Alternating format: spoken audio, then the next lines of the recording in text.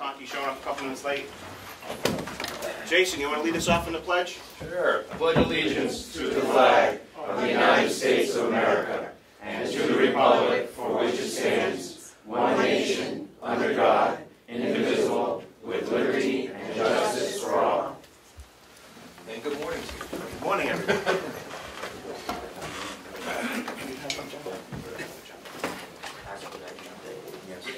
Um, what's the first? Uh, Budget review, I don't know, if- are there, do we have minutes to review also?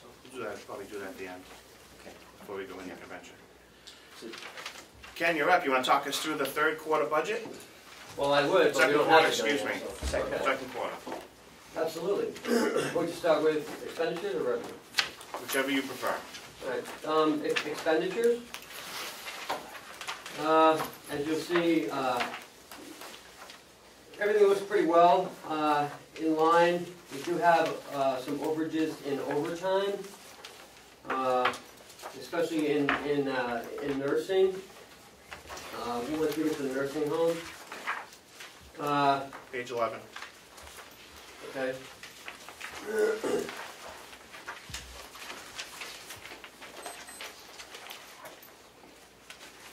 Um, As you see, it's at eighty-one percent. Um, I did an analysis over the past several years, and um, uh, last year was a good year for overtime. Um, But it seems that we're starting to go back up again in the overtime. Uh, And I, if Howie can answer some of those questions, maybe uh, uh, he can answer Oh, any any of those questions. Um,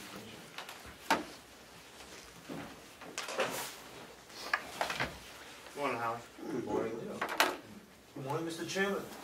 Um, what, what I have, and I can distribute these if you want, but what we have when we look at the nursing payroll, uh, we, we're, we're definitely high in overtime at eighty-one percent.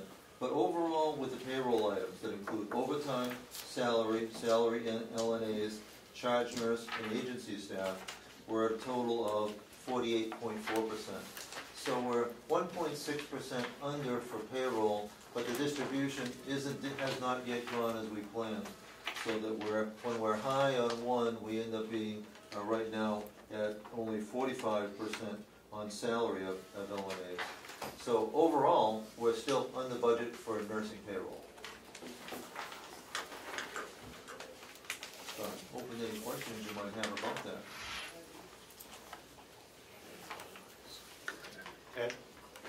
Thank you, Mr. Chairman. I just, what's the reason why the overtime is Shortages. short? So we have open positions, we have some unfilled positions, so that we rely, before we turn to outside, to agency, we'd rather see our own people get overtime. It's better for them and a little bit less expensive. So we, we've been hired while we have the open position. Now, having said that, the, the, the reason for the vacancies is, is twofold. Needing to fill positions and also unscheduled absences, sick calls. We're looking as late as last week at new, new software that, right now, when we look at overtime, we're looking at it through a rearview mirror. We see what last payroll was. The software that we're looking at allows us to forecast it based on, it would give the nurse scheduler, um, it would give Jen the ability, when she books somebody, to know whether it's gonna put her, put them into overtime, to be able to offer the positions to people who would not, not need overtime.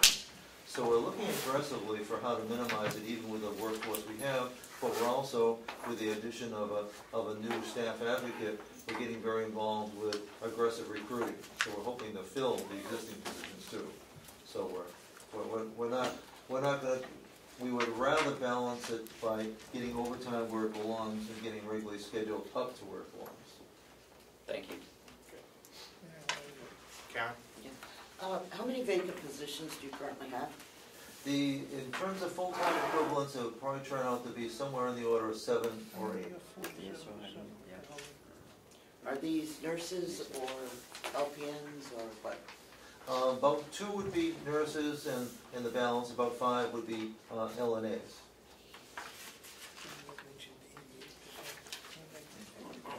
If I could, one more. Sure. Um, Not yet.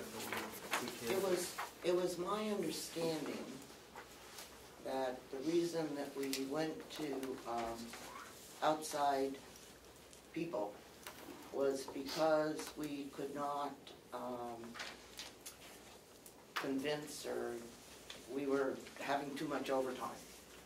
And also that, uh, at one time, we were told that the outside people were actually less expensive than, uh, that's what we were told, okay?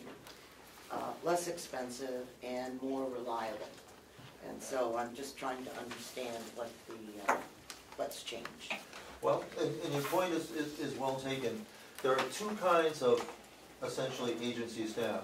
There's the regular agency where we call up today and ask for somebody for tonight. That's very expensive. But what Lori has been able to do is when we know we're gonna have a vacancy, to bring in, in a hospital setting, it'd be called locum tenens. We are actually contract with somebody for six, eight to twelve weeks, and they bring somebody in for full-time during that period.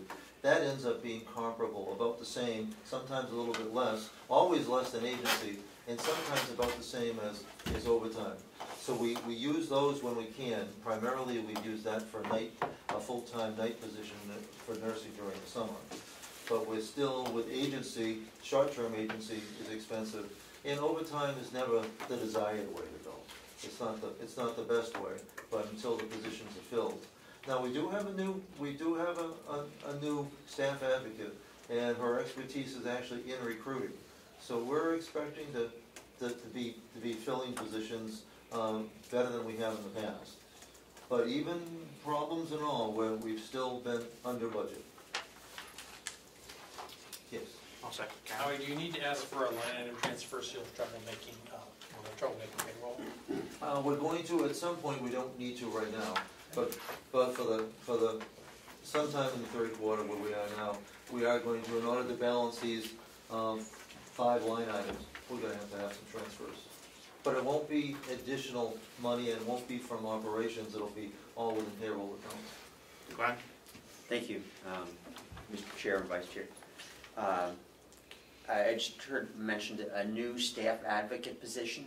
Uh, Can you fill us in on that? Because I don't remember anything about that in the budget. Uh, Yes, as you remember, um, uh, Representative Marsh was, was an advocate for us to, to hire a person over there to help, help staff with their payroll issues, with their checks. So I do remember a That's what this is. halftime, halftime benefits person. That's what this is. Okay. Um, Would there be a job description available possibly? Yes. Okay, great, thank you. Bill? Thank you. Thank you. Does this expenses for overtime include any of the things you would have to pay for a normal, a regular employee, for example, sick time and all that? Does it end up, when you work that all out, it's cheaper to do somebody via agency? It's, it's always cheaper than agency, but it's still fifty percent more on an hourly basis than it might necessarily need to be. But if you rolled in the benefits and all these, all these other things in there, does it make, does that bring the price uh, of a regular employee higher? Well, it- All it costs? is what I can tell you is, I didn't include it in this payroll analysis, but under medical insurance, the, the amount that we're, we pay for medical insurance for our staff for these, for the, for the six months yet, for, through the second quarter, that's under budget by eighty-five thousand dollars. And that's not included here. So when, when we end up using overtime, when we end up using agency, when we end up using the locum tenens, we're not paying medical insurance. So we're reducing some other expenses in between. It's still not optimum. It's still not the, the best way, but it does reflect a significant savings. We've also had a problem in the past, thanks to the Affordable Care Act, where we were, we, we need to cap our per diems, our non-benefited staff, from working more than thirty hours in a week, on, on average. Because if they went over thirty hours, even though they had no fixed schedule, they would be entitled to, to healthcare insurance. We're hoping that, that we're gonna be seeing some relief from that requirement in short order, so that instead of working, it's, it's, it's thirty hours isn't even a full four shifts. Instead of working three and a half shifts, that they'll be able to expand back to five shifts, and that'll help fill the gap as well. Frank? Uh, Thank you, Mr.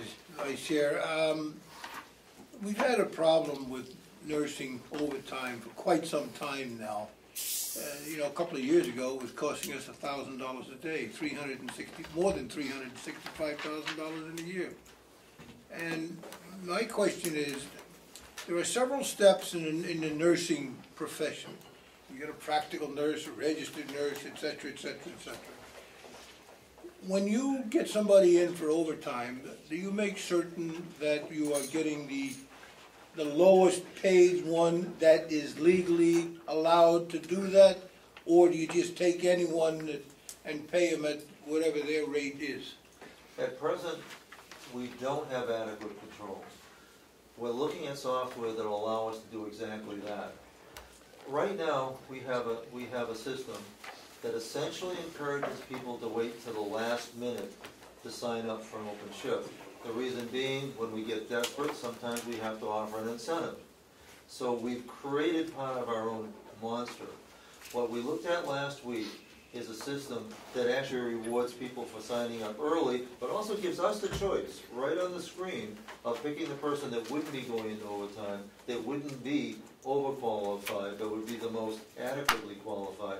And essentially, we give reward points for the first person that signs up, and we're dealing with a, a new workforce.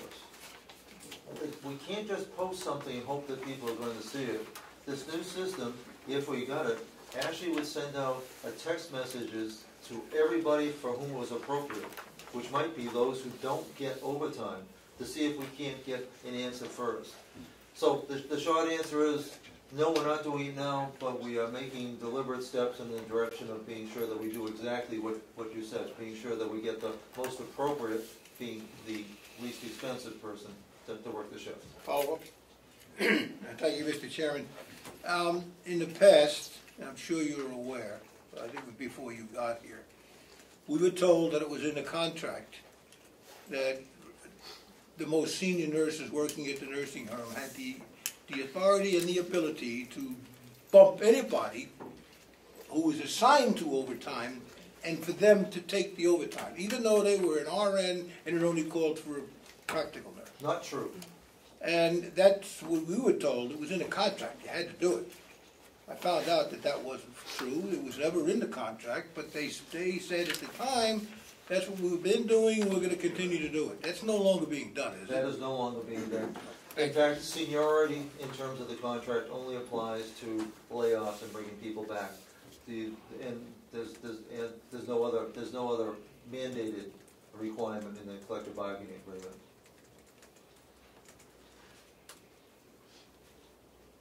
Thank you, Howard. Thank you, Dave. Uh, Thank you, some of the- Commissioner. Go ahead, Ken. Uh, some of the other issues, uh, it looks like, uh, it looks like propane. Uh, propane's a little high, but I'm hoping it's because of our, our past winter. Um, I mean, you remember last year, uh, towards the end of the year, we had to make an extra payment at the end of the year, uh, because it was so cold. Um, But, uh, Bob is tracking it and, and, you know, he is watching it. Um, we signed a new Ken, contract. Ken, hold on. Yeah, where is this located? What page, Ken? It's, it's in all the It's, propane. it's through, it's through all Yeah. propane lines? Um, we did, we weren't charged anything for the leak that we had, right? No. Um, Is, has propane gone up? or is Down. it- Okay. that went from one fourteen to one oh seven. So usage is up a little bit, maybe because of the colder season we had? That's what I was trying to allude to. January, February, March might have been, you know, April. Follow up, Karen? Is, is that a, um, a guaranteed price or is that? Yes. Okay, one oh seven, Yes. thank you. Frank? Uh, thank you, Mr. Chairman. Um, we were told earlier, and I I hope we're still under that, that uh, the propane had gone down so low that it was actually less than the pellet system. Well, absolutely. And we were, that's why we were using so much propane, because we, we weren't using the pellet system. Well, we, were- we were, off- we were offsetting some of the, some of the costs with, with the pellets. I mean, we have burnt some pellets, uh, but not as much as we normally do. Thank you. Continue if you would, please. Uh, and those are the- about the only ones that, that, um, you know, I'd like to comment. Uh, If there's any other questions, from any of Representative Cordelli? Uh, Thank you, Mr. Chairman. Um, Under the expenditures on page 10, there is a uh, corrections grant expenditures listed of $14,000 plus. Yes. Um, I don't see any uh, revenue listed yet for that. Um, I'm not sure what this grant is for, if if you could explain. It it was for the ID, the IDN seven grant, uh, and the grant committee did, did, uh, uh, review with that. Uh, do you wanna add a little more to that, Jason, or? The, the two grants, IDN and Second Chance? Yeah. Uh,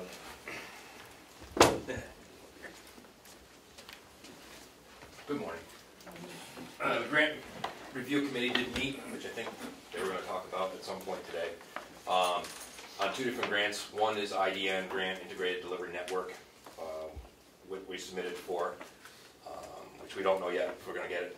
We'll know come fall. We already had one IDN grant that we did use for twenty-four thousand dollars, which we awarded beginning of this year.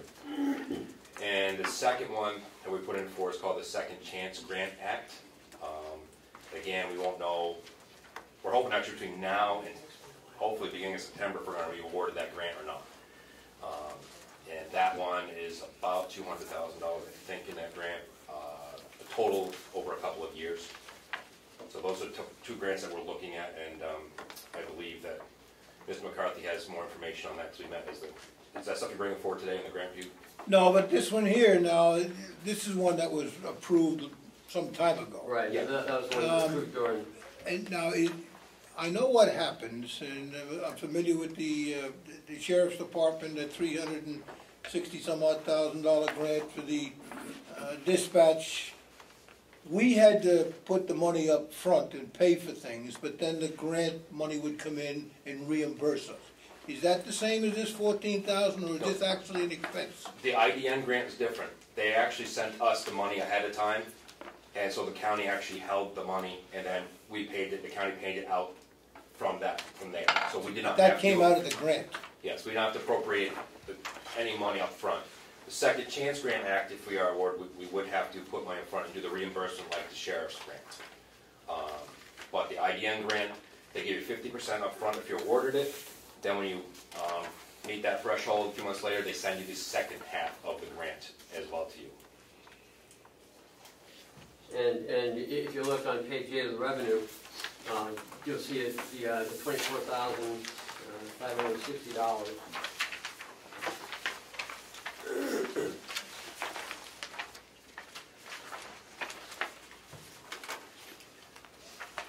Line item? Page eight. Under, under, uh, with the DOC, uh, I have a different revenue. Page three. Page three. Page three. Under revenue, Okay. the little package.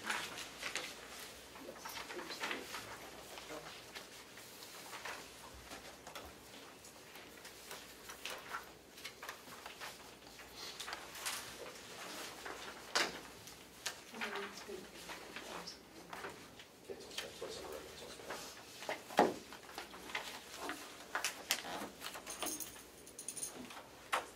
Other further questions? Expenditures only, or revenue also? We'll, we'll take revenue as, as one item. Uh, I don't- Go outside with the expenditures, Ken? I am, Revenue's up. Okay, let's go revenue if we could. Thanks, Jason.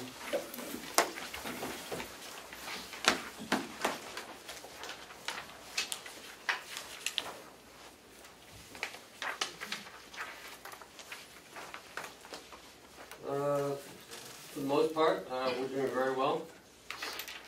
Um,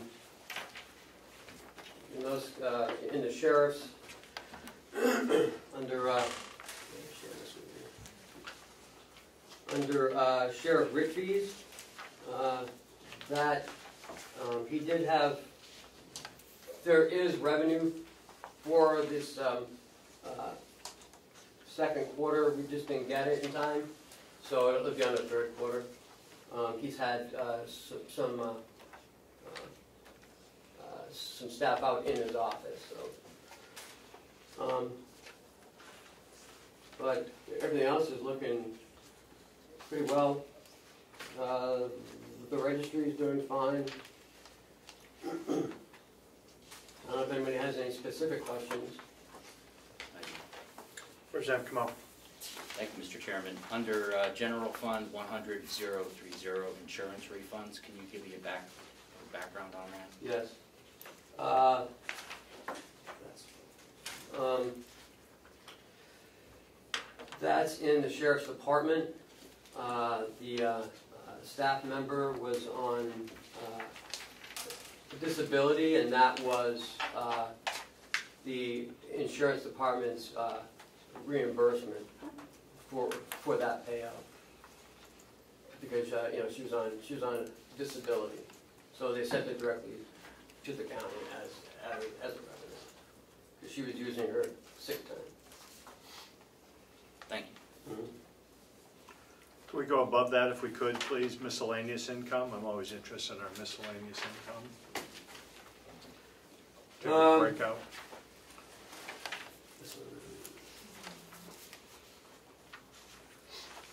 That would be a um, a refund of of some property taxes. Commissioner Bevard uh, redid some of our, uh, some of a small area out here, uh, and it went from, I don't remember the proper terminology. Current Commissioner? use. it's been Current use. Uh, So it saved eight hundred dollars, and that was for twenty sixteen. Uh, we had a refund on, uh, a uh, Thomson Reuters, which is a internet, uh, site for the county attorney's office. Um, and we had a ninety-one A request, um, a couple ninety-one A requests. Um, and um, that's about it. If I, if I could ask a question, uh, last, last year, we had money from separate, different sales that went to Public Works and others, and we'd asked that those, if there were uh, metal and other items salvaged, that were, that they would come now to, to this line. Is that what we're doing? I don't, I don't have any, uh, metal sales, so I don't, I don't see them in here. But is it, is it your understanding that miscellaneous income would encompass all the departments and show up here? Uh, no. The uh, sheriff's department miscellaneous income. No, I, I I understand the sheriff's department, but the rest of that are under your eye eye view, they would come here? Um, I'm not exactly sure, are you sure on that? I wasn't told Yeah. that. The jail has miscellaneous, we have one. Yeah, but he's talking about the smaller, the outside departments, correct? Yes. Uh, If, if the jail has miscellaneous income, you know, we just like, we'd like those things listed out also. Doesn't have to be here today, but just, just in some. Go ahead and continue if you would, please.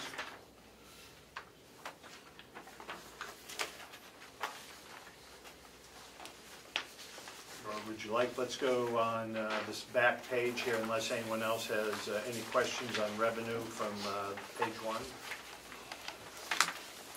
Seeing none, we'll go to page two. And could I have an update on, um, on hay and wood, please? Sure. Um, as of August eighteenth, uh, our hay revenue is twelve thousand, six hundred and eighteen dollars.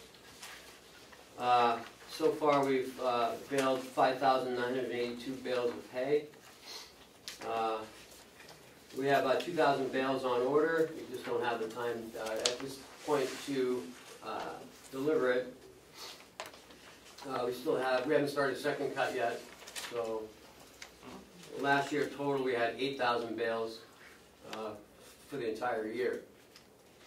So we are up uh, as far as the bale count. The weather hasn't been very cooperative this year for hay. Representative? Uh, the sheet says twenty-two hundred for sale of hay. Right, but this is only up, up to second quarter. The second quarter? Right, I'm giving you update as of, as of the 18th. Thank you. So at where you are at this point, what'd you say, twelve thousand eight hundred and something? Twelve thousand six hundred eighteen. Six hundred and eighteen. Do, do you feel confident we're going to come at, near, or exceed the twenty-nine, or excuse me, the, uh, the projection? Two thirty thousand, yes. Okay, good. Um, Sale of wood, do you have an update on that also? Yes, as of August eighteenth, uh, the wood revenue is eight thousand seven hundred ninety-five uh, dollars. Uh, we've, we've, uh, uh, we have delivered 4,776 bags of wood. Uh, although they're not bags anymore, they're, they're wrapped, but we still refer to them as bags. Um, and total so far sold this year is $16,221.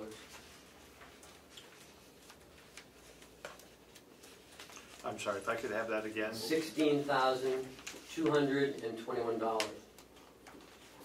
Is what's been sold for wood? Yes, Is that, is that all um, your packaged product? Is that also, um, um, have, have, tell, tell me where we are. Where are we with our inventory of wood that we started the year with? And how close are we to being? uh, we're about halfway through. We have about 50, 60 cords left out of the 100 and 110 that we had.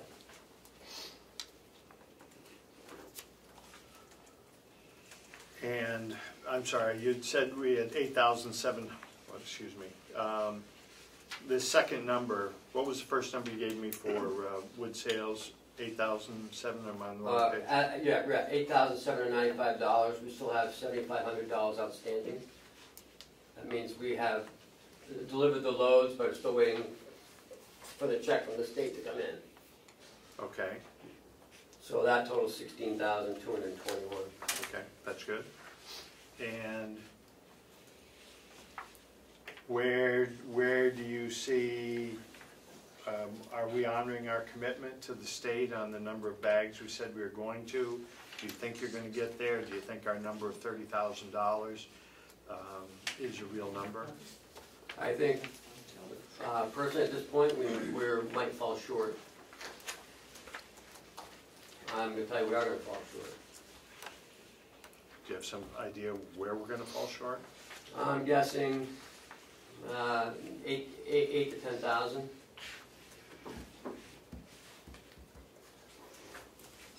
In, in the event, and that's, that's in the bagged wood product, um, in, so are there plans then, if we're not gonna be able to, uh, supply what we thought we could, uh, is, is there a plan to sell that as cordwood, and then will we be done with that before third quarter? Um, no. We could do, I don't wanna compete, um, so what we would do is we would do, if we're gonna sell cordwood, like we told you we weren't gonna do it, but if we were gonna do it, we could do, um, we would do it to the fuel assistance of cap. Um, that would be the only cordwood we would do. Uh, we would not do any other cordwood. Uh, we could process it and, uh, store it for next year. Um, But that would be the only other alternative.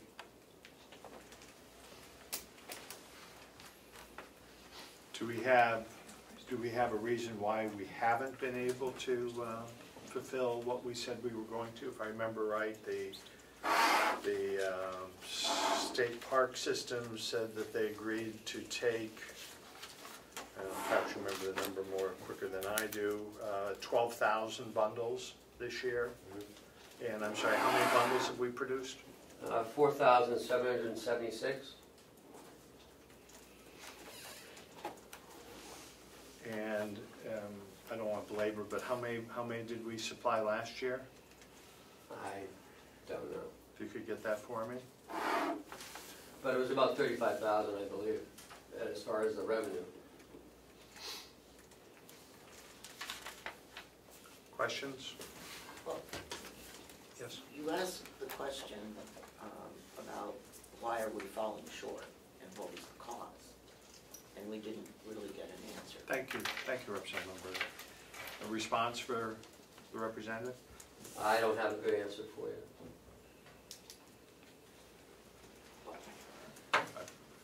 I could guess, I could guess, I can make one up, but I, I don't have a good answer. I'm not gonna tell you I know why, because I don't. Perhaps we could get something, you know, next week from the uh, commissioners about what's going on with wood production. I know we were shorthanded for about three and a half weeks out there. Because, uh, Mr. DeWitt was on a medical leave. I are we, are we, if I might, Please. um,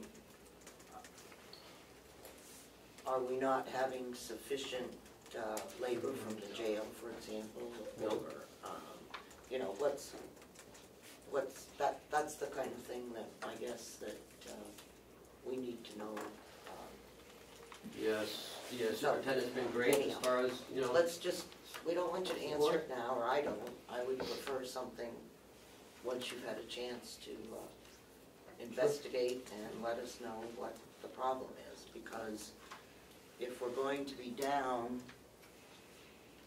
you know, ten or plus thousand dollars, that's, uh, that's some cuts that are gonna have to be made, or uh, expenses done. Unless, unless the hay can make up for it. I I don't know. Well, you're still a long way from hay. Yeah. Anyway. Please. You're all set, I'm Representative? Representative Nelson, Thank you. I'll come to you, Commissioner. Who is the cordwood sold to the public, or is it go to us, the supplier like Caitlin Firewood? We don't sell cordwood. We haven't since I've been here. I don't know where it has been in the past. How about the logs? The log lengths, the full, We I don't thought you sell were them. said, I thought you said it was different ways that it was sold. One was the firewood, I mean, to the parks, I thought there was another source of, And we selling. could, we could sell it to, yeah, the community action, the uh, fuel assistance program, I know they've done it in the past. Um, but I don't, you know, to help people through, through the winter with the heating. Um, would some, is there a possibility that some of that could be sold to one of these firewood people that deliver it? They would wanna buy it from us and then just deliver it? I, I, I doubt it. Yeah. They probably do more wood in a day than we do. I don't know. Well, I'll, I'll be interested in hearing, because wood production is something that we were told is a year-round, year-round item to do, and I'm sorry to hear the superintendent was out on medical leave, but three and a half weeks uh, wouldn't come close to uh, slowing our production back to the point uh, of what our commitment was, because clearly we said, um, it- I- two, two things. One, we said there was a directive to process all the wood that could be done and do it in a timely manner and to sell it this summer. And we're nowhere near where we should be. Uh, So um, there's some other issue there. I'm glad to see that Hayes moving forward. Uh, Do you know if the uh, shrink wrap uh, process that's being used now uh, was viewed favorably by the state park system? Yes. Yes, they had, uh, no complaint on any of the wood. Other than we're their main contractor and we're not supplying. Right. We're only supplying, uh, White Lake at this time. My understanding from the conversation with the director is that uh, as of last month, as of the beginning of this month, um, they're, they're uh, purchasing everything that's being produced. We agreed to purchase 12,000 bundles this year, and we are not receiving that volume. Uh, and There's more. Uh, We do have other vendors in the state. They are not displacing the volume um, that was agreed to by Carroll County. So A follow-up would be uh, greatly appreciated. Yes, sir. Anyone else at this point?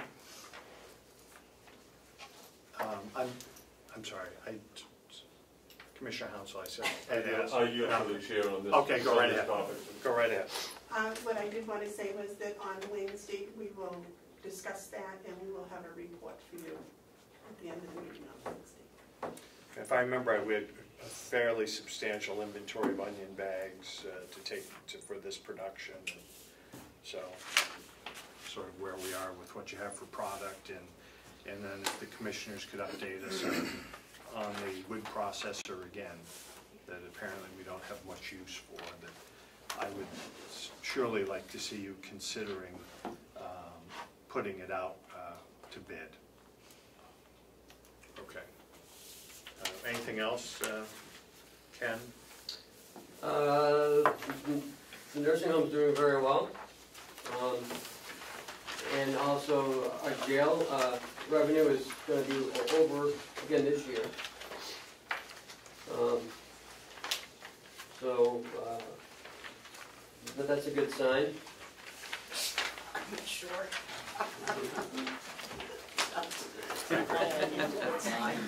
Take that whatever way you want. Clips heavily.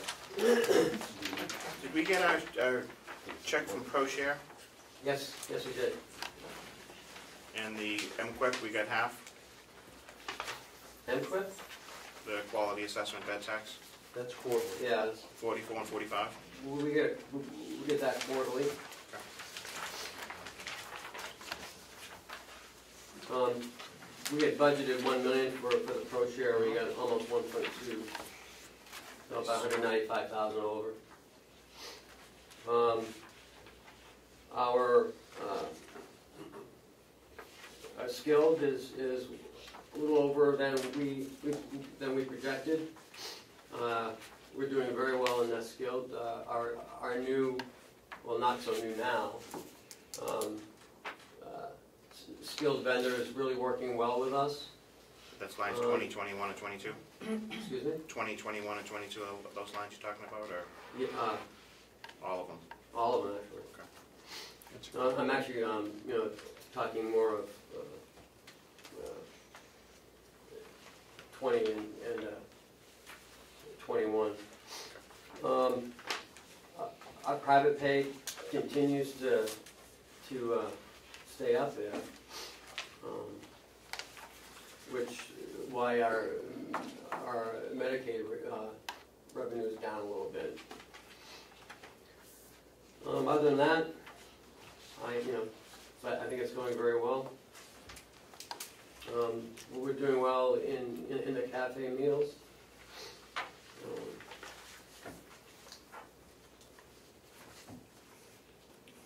So if you have any other questions? Follow-up? Actually, it's a question for Howie, if that's okay. How's the census this year? Census is good. Um, What's, what's important along with the census is the, is the, is the payer mix. And that's, that's tracking right on budget between private pay, um, Medicare is up slightly. What's, what's interesting that's happening with Medicare, uh, skilled, the census is a little off, but the proceeds are higher. And that's attributable to our contractor, um, you know, Health Pro. So we're getting greater, greater yield out of each day. What's happening in the skilled world is the length of stay is going down considerably.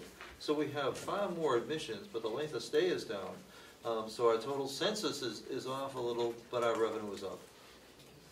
In fact, our revenue for therapy, if you add in all lines twenty through twenty-seven, are at fifty-six point five, so that's six point five percent above projection, which is, which is significant.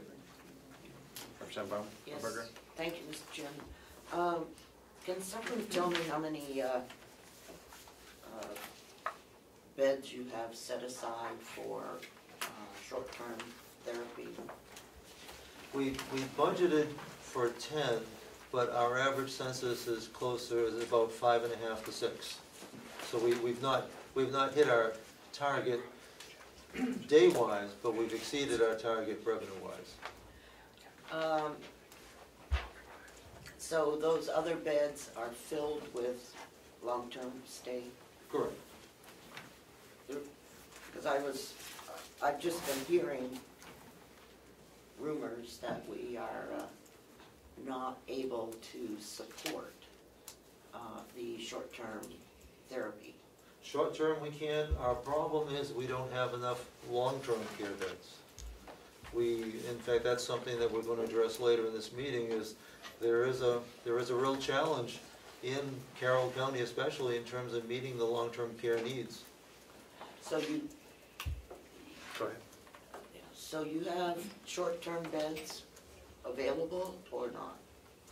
We don't today, but oftentimes we do. We try to keep, in fact, we haven't had to say no to a short-term applicant in quite a while. We try to keep one bed available for somebody coming out of the hospital with, with short notice.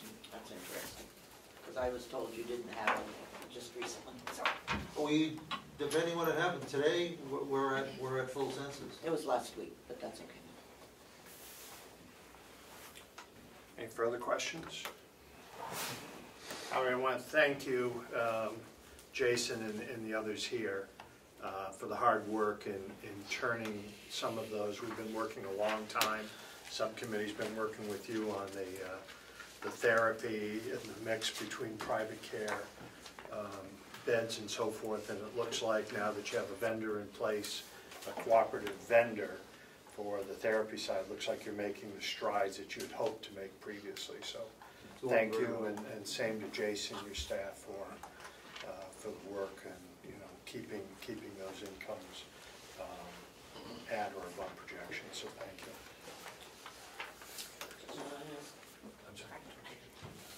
Oh, yeah.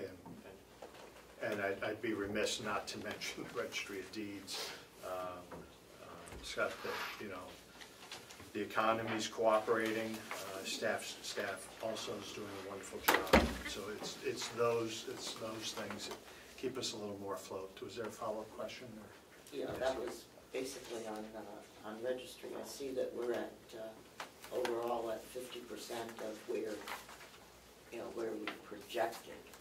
Are we expecting through home sales to exceed our revenue? Or are we expecting to stay the same, uh, stay where we are?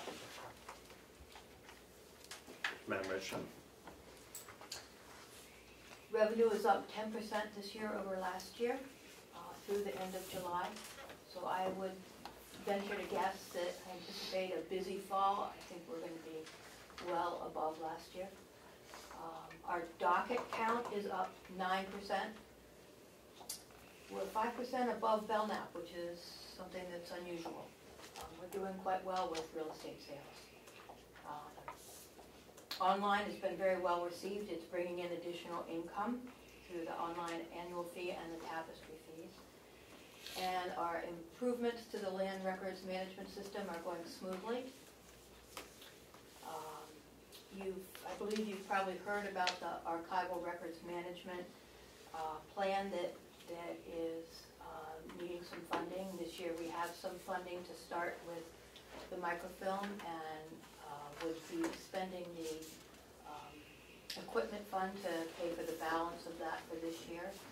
And next year, we hope to talk uh, with you and the commissioners about uh, conservation and restoration of the records.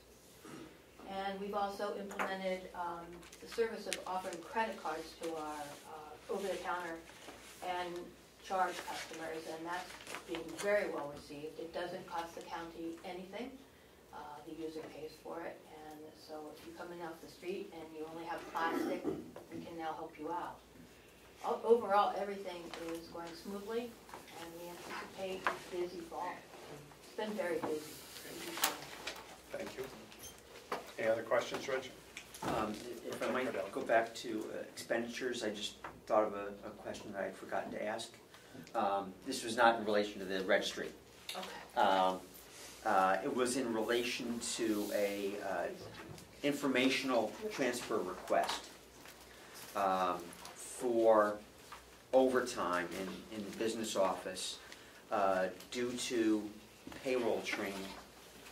And I'm just curious about the need for payroll training um, being done on an overtime basis.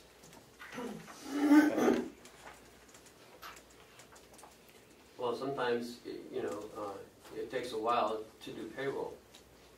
Um, And so, uh, and, and since, since, uh, we had two people leave that were doing the payroll, um, takes time to train to do the payroll, plus to stay after, to continue doing payroll, to get payroll out. Um, so it's not just specifically for the training, it's to continue to do payroll. I mean, we have, we have been training the new people, but, you know, it's not all training overtime. Right, okay. The, um, the reason for the transfer was listed as payroll training, and I, and I, so I assume this is internal staff Yes. training other internal staff. Yes. But, so really the, um, the reason for the transfer was not training specifically, is that, that's what you're? Yes, right, it's not training specific. Okay, thank you. Other questions on um, revenue, Can I ask a question? please? I just trying to understand one piece of reading these, this revenue report. When the county, for example, this month, the county received a check of about fifteen thousand dollars for um, overpayments to the New Hampshire retirement system. When those types of checks are received, does it go in the miscellaneous other income or is it credited back to the retirement lines in the individual departments? Thank you. Ken, could you answer that? It depends on what time frame it's for. If it's for the current year, then goes, it's distributed back to the, to the county's share and the employee's share. So if it's not the current year, our, we've been advised by our, our auditors how they would like us to handle that. So we just put, we do that in a different way, because we can't have it hitting the current year. So does it, is the different, if I could Please. Is the different way, it would, it would be like in the administration miscellaneous or refund line, or, It doesn't actually, it's on, it's a balance sheet item. so we wouldn't see that on Right. this? Okay. Thank you. Any further questions on revenue? Okay, seeing none. Thank you. Thank you for good work, one and all. The, um, I'd like to um, move, and I'm not sure where I am on my agenda, uh, but I would like to uh, have a discussion while I have you there, Ken, on um, staffing and uh, um, on uh, finance director and where we are with HR and the comfort level of the commissioners and yourself and whether we need to uh, consider um, some alternative action uh, before we start that conversation. I'd just like everyone here to understand that we're speaking in general terms. We're not going to speak of persons, personalities, job performance, and so forth. I've been questioned by many of the delegation, many here and many that are not here, as to the concern of the delegation that when we had our issues in the past, one of the items that was identified for us to get on board with right away was, and was endorsed by the delegation, was that we would put in a uh, administrator and we would bring in a finance director. And uh, so we've gone through the dark cloud times, and um, I don't believe we have had the issues that when we had a couple uh, blips with payroll, meeting payroll in a timely manner. I believe, I'm hoping you're going to tell me that that's all been taken care of. Uh, And I'd like to know, uh, do the commissioners have a plan to bring on an interim finance director? If we are satisfied with where we are and promoting within as a finance director, but how you can assure this delegation that the books are in order and being watched over, and that we are in, that we are submitting in timely manner, uh, both the state and federal government, whether, and that um, uh, our audits are moving forward and everyone's happy with that procedure. So I've left that pretty wide open, but I, I know that it's a conversation I and many others would like to have, so please. So let's start with, with what you finished with. Um, I know I am quite satisfied in the direction we're, we're going. Um, I've had conversations with, with our auditors, they're quite comfortable of what, of what we've done in the finance office. Um, uh, So, you know, I, I can only say that, you know, when I was first hired, I wasn't able to pick the team that, that I wanted to work with, it was picked for me. Uh, Since the new, uh, since the new board of, of the commissioners have come in, um, they're allowing me to, to pick my own team, um, so that I can work with that team.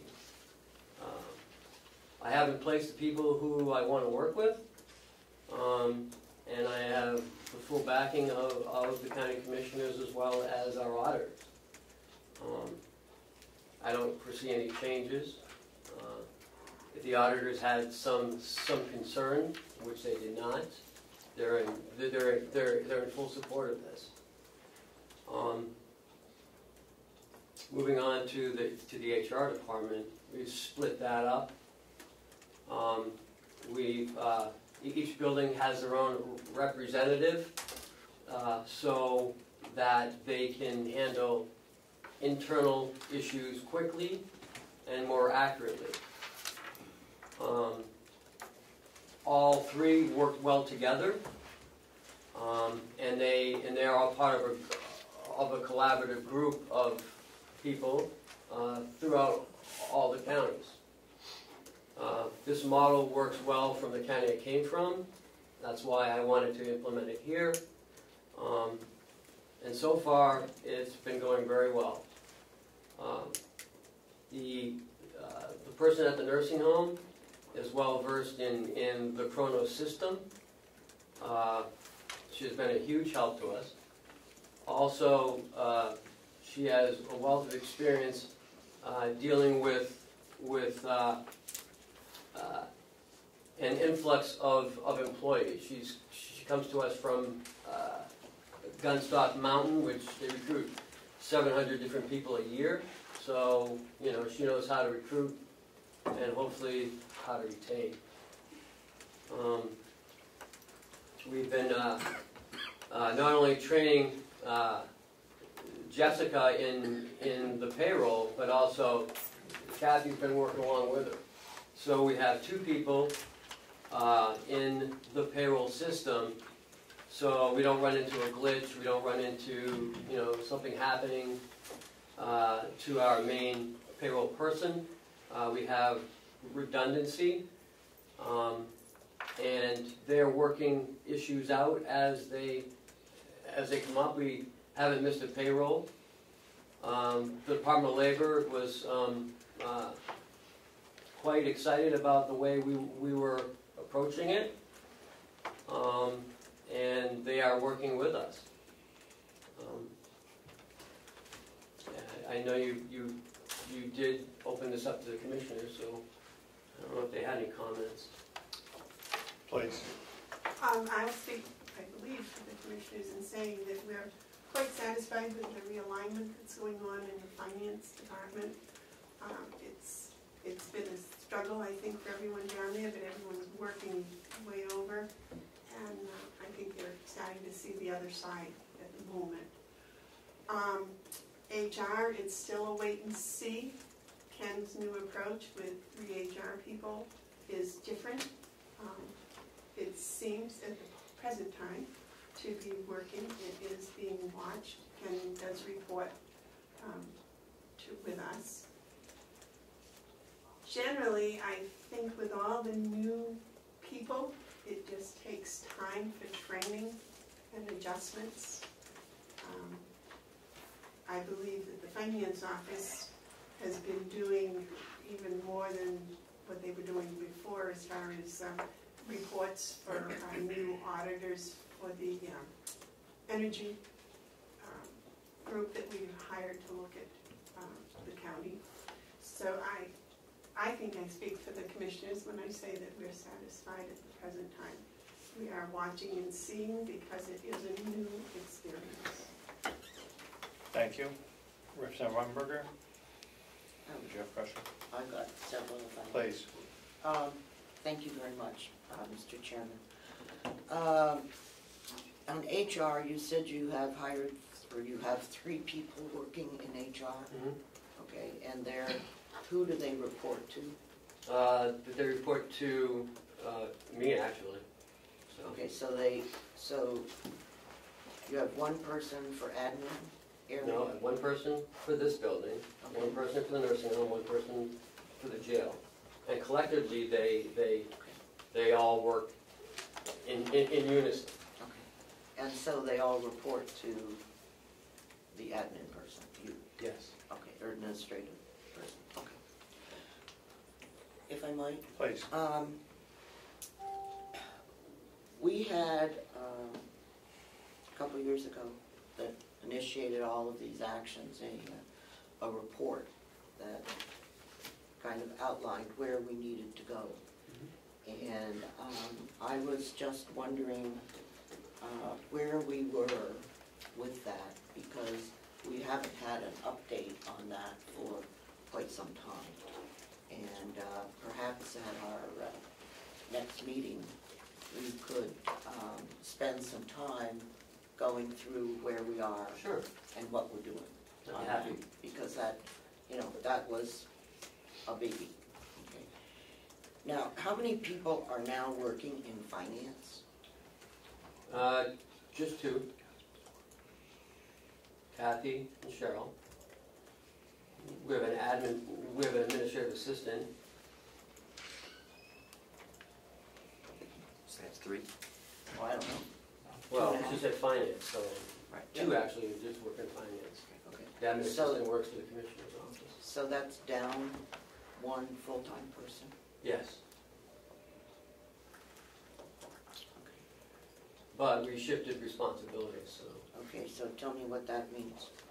That means we shifted a lot of Kathy's responsibilities over to Cheryl, like paying the bills, um, uh, uh, doing, doing some postings, reconciling. Um, And Kathy's taken Chuck's responsibilities, and we moved Cheryl's responsibilities, a lot of the admin responsibilities, to, to the administrative assistant. Okay, so you, okay, so you hired an administrative assistant? Mhm. Okay. You mind telling me her name in case she answers the phone? Her name is, is uh, Deanna Valley. Valley. Okay, thank you. And um, during the budget, we had a lot of discussion about um, moving our payroll system to something other than what we had. Mhm. And did we, did we approve that? No. Yeah, Oh, yeah, You you, approved you it, we- approved it, we, we haven't implemented it. Right, Okay. As of this point, we're, we're not fully, um, assured that, that that's what we need to spend a hundred thousand dollars for. So. I'm not gonna get into, you know, how this all came to be, but I, I don't believe we, we really need that system. uh, As was presented from the, from the former finance director. Commissioner Hounsell, did you have something to mention on that? And then I'll come back to you, Representative Baumgartner. Yeah. Did you have something to add on? I, I just wanted to complete the commissioner's position as far as staffing, uh, the topic under conversation right now. Uh, As you know, when you talk about staffing, you're talking about people. So as a result, uh, it's always, staffing is always a fluid uh, thing. You never know when people are going to decide to do something else. But at the very top, uh, you want that stability to be there. And I can tell you that I am very satisfied with the direction that uh, Ken Robichaud has taken us as far as his recommendation and implementation of staffing. We are getting the job done, I believe, more efficiently and for less money. Uh, It may be a little bit different than what we had planned on doing, but it's a better, it's, it's turning out better, and that's a result of, I think, the fluidity of, of the circumstances. Um, I'm very uh, satisfied with uh, Kathy Armstrong's work. It's, uh, I, I quite frankly believe her to be uh, a treasure that might have been hidden for a number of years from our site, from some other, for whatever reason. She's doing an outstanding job, and uh, I have no problems uh, get me questions that I need answered, and I'm satisfied that she's doing, and, and finance is doing an outstanding job of staying on top of things. As you know, it has been complicated over the last few years, but those complications have been alleviated to a huge degree. And I would ask the commissioners, I'm sure would appreciate if you would give us more time to prove that the direction we're taking uh, is the proper one. Thank you, Commissioner. Representative Umberger, do you have follow-up more to ask? Yeah, so I guess that, um, I'm not sure when we're going to have an, another meeting, but I would certainly like an update on the fact that, uh, on the payroll and where we're going and what we're doing because it wasn't working, I guess. And And if I could just emphasize, Melissa, that both the uh, uh, performance audit items that was mentioned by the representative earlier and this should be um, uh, topics for, for the next. Did you have more, Representative Umberger? Just for clarification, does that include the DRA report as well? The DRA report and the performance audit, those two items? That's fine. And I, I have Cordelli and Marsh, so do do you have more at this time, Representative Umberger? No, that's more than enough, thank you. Thank you. Um, Do you have something to Yeah, add? cut clarification on, on the, what DRA report are we speaking about? When the team from the Department of Revenue came here for a couple days a week and then they produced a document. Oh, okay. And you'll have had your hearing by that time, so we'll be fine. Representative Cordelli? Thank you. Um, I do not share the optimism and good feelings that have been expressed by the administration. I am very concerned about what's going on for several reasons. One, um, I found out on Facebook about uh, a Department of Labor investigation. Uh, Almost 500 violations by the county in terms of state statutes in relation to uh, wages and earnings, um, I think is extremely troubling. Um, I uh, immediately contacted the commissioner of the Department of Labor, um, and um, he indicated to me that the best course would be uh, to follow the informal hearing, and as I think I emailed the, the chair, um, I, I think it would be very wise if a member of the executive committee of the delegation would be present at that informal hearing with the Department of Labor, because we're talking about fines of over forty-eight thousand dollars to the county, in addition to the payouts to um, employees that are owed money. Um, Secondly, um, it was mentioned about audits. Um, I I don't know if we've seen a 2016 audit. I don't know what's happening with audits um, that I would like to know. Thirdly, I saw a posting on Facebook and followed up, and we've had discussions going back um, at least a, a year, and the requirement of a member of this delegation to file the 91A request and spend his own money to try and figure out what's going in, on in terms of the retirement system and dental system um, uh, dollars. Um, it, the possible um dollars we're talking about in terms of incorrect payments um, is extremely substantial. Um, and uh, based on my follow-up conversation to a Facebook posting, the situation is still going on. I've got letters from a former employee um, about accrued um, time that uh, was incorrect. Um, and this accrued time is a subject I can remember being discussed going back to when I was first elected five years ago. And it's still not correct. It's still going on. People are classified wrong, all sorts of things. Payouts, uh, this person got a check for $821 and with no explanation. They were just told by the county, oh, that's correct. You're owed that money. Um, they left the employment of the county um, at the end of March.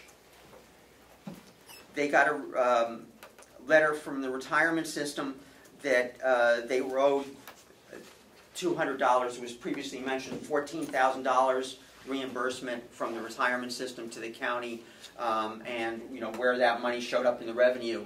Uh, this person was told, and I've, I've got the letter from the retirement system, there was a member contribution to this, for this person of two hundred dollars. She got a copy of it. She has yet to see that money. Um, dental, again, I'll remind you that she left the employment of the county at the end of March. Uh, she got a letter, um, August tenth, from Delta Dental informing her that her uh, daughter was turning 26 years old and was no longer eligible to be included um, under her coverage. She called Delta Dental and you know asked them, and they were said, "Well, you know, you're still employed by Carroll County." And she said, "No, I'm not." So the Delta Dental thought she was still employed by the county. Uh, you know, almost six months later. This has been going on and on, hundreds of thousands of dollars possibly involved in this. And so, Please, representative speaking. um, it dates back, we don't know how many years. Uh, But I do not share the confidence in what's going on in terms, you know, maybe, I don't know if it's the people or the systems we have in place, but something has got to change. The, the taxpayers need to have confidence um, in what's going on here in terms of uh, the financial stability of the county. I certainly don't have confidence in, at this point. And, you know, we have the power, and I'm certainly going to make a motion in the not-too-distant future if things don't change, um, under our RSA 2417, to form a committee of investigation. But something has to be done. You know, we can't have, you know, meetings talking about the price of blueberries. We've got to have action to figure out what's going on in the county and to change it and to correct it. Thank you. Thank you, Representative. Um, Commissioner Hounsell, something brief? Very brief, we would all be better served if we got our correct information from the sources in the right books instead of Facebook or what's known as Facebook. It's as brief as I'll be at this time. Yes. I, that's, I don't have more to say That's- outside this meeting. that's fine, I, I don't wanna go back and forth. No. Um, I, I have been told that there are still issues, um, with people still being on the dental plan. Uh, we certainly know that, uh, we certainly know that that was a problem in the past, um, and I may not have the passion as my fellow representative does over this issue, but I have a great concern that, you know, perhaps we're taking care of payroll and items and things are rosy and there's income coming into this, this, uh, to this county at this point in time. Uh, But I also share, and I really want to explore this further, um, you know, where we really are with what's happening out there. We need to know that, that the dental issue is gone and taken care of. We need to know that on a monthly basis, which is what I believe we were told, that, you know, lists were being checked and people were being taken off of it. And I would like some assurance by you as the administrator to respond to uh, the representative's question. Uh, You you can respond that to me, that, that, that has been purged and how we're handling that on a monthly basis. Um, Representative Marsh. Yes, uh, thank you. Uh, Ken, with your consolidation in the finance department, could you uh, update the delegation as to what uh, finance controls are in place so that we know that we're not compromising those with uh, fewer people in the department? Absolutely, we, we've established, um, uh, more financial controls in, in the past year than this county has ever done. Um, since, since the finance director has left, um, I've taken over looking at the bills and, and, and a lot of the invoices, along with, uh, uh, Kathy Armstrong as well. Um, You know, we, we do everything that, that we're supposed to do. Um, our auditors are very pleased in the direction we're going. Um, they were just here last week, um, and they'll be back again next week.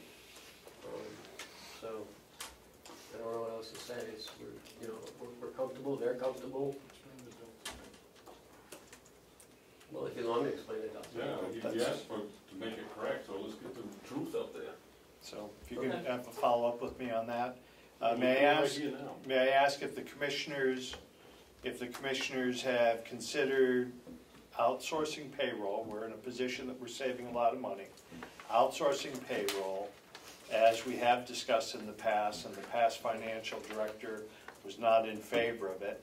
But would certainly seem to me that if that was outsourced, a real look at it this time, then that would free up your new uh, financial director to be doing many of those other things that I have to believe are taking our time and have to believe, I, I, I believe there's a thread of real, real truth in what I'm hearing in that time occurred and so forth probably still isn't there. I know these companies handle that and they handle it properly. Have the commissioners gone to the point again to look at that? You have some surplus here. And take that burden off your finance director, uh, payroll, and, and be able to look into some of these items that the delegation has concerns with. This commission, Please. since January, has not looked at outsourcing payroll. Um, I think it's probably a good suggestion that we look at it. I do know that the nursing um, payroll is very complicated uh, because of the twenty-four seven shift, the same way with the nurse, with the uh, jail and with the sheriff's department. If there are outsourcing payroll companies that handle that and could handle it well, I am not sure. That is something that um, I will bring up on Wednesday at our meeting, and we can start some sort of an investigation into it. Not based on past investigations, but we will start. Thank you. Ken? I, I've already set up a, uh, a meeting with an outside vendor. Uh, I haven't passed it on yet to them yet, because we just did it last week, but, uh, Is it one of the leading vendors that does this program? yes. So I'll, and I'll come back to Richard Crawford in a moment. So the Kronos module, that's a, that's not an issue that we're investigating at this point in time. The model we No. talked about, the module, okay, yeah, Not at this time. Okay. Thank you. Representative Crawford? Uh, Thank you, Mr. Chairman. Uh, Maybe I missed it, but are we in the process of hiring a new finance director inside or outside? So we've allocated that money for that position, but we're not using it.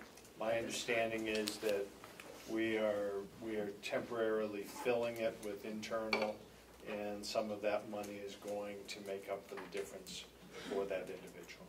But But will, they are not actively looking to hire someone. Will, will you, you will not? So They are we- not. we're- That position is no longer, They are not actively seeking someone to fill that role. They have, they have um, moved responsibilities inside the department um, to handle that, and they're happy with their position at this time. Yes, They're- Yes, they're actually short one person in finance from where we were, and that, okay. And what they did is that they hired a part-time admin person and redid Cheryl's duties. No, that's not correct. That's what you told me. No, it's a Please. full-time admin assistant. Oh, okay. And, and, and Chuck's duties is on Kathy's and Kathy's is on Cheryl's, so we didn't, we're not really, we're not really down a person. Well, we haven't done well with holding back names, but I think we're okay. No, so, I- okay, I understood you said that the admin person was half-time. Did anyone else hear me say that, hear him say that, or was it just my ears? I think it was curious. Karen, originally, it was a part-time position, but she did so well that within, what, four weeks or something, we put her into a full-time position. Okay, so at this point Cheryl is only doing finance stuff? No. Well, For the most part. She's also handling payroll.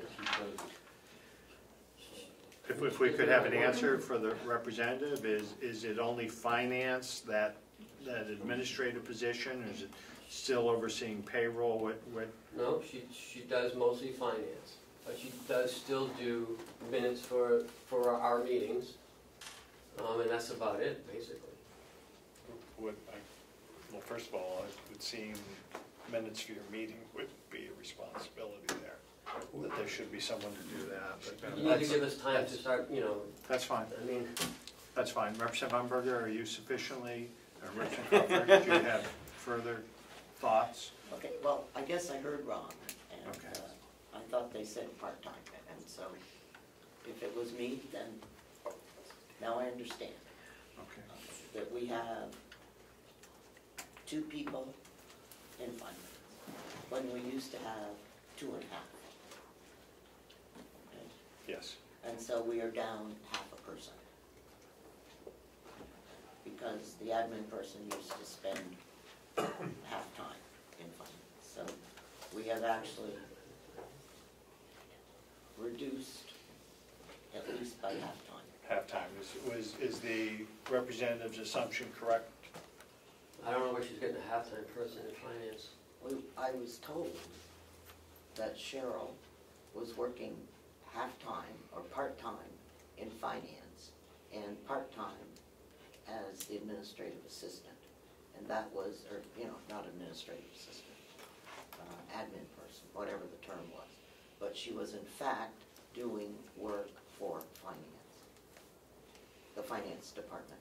So, that's what I was told. We, we could just have a written explanation, have that sound along with the other, just so we're, just so we're all on the same page. I mean, I do finance stuff too.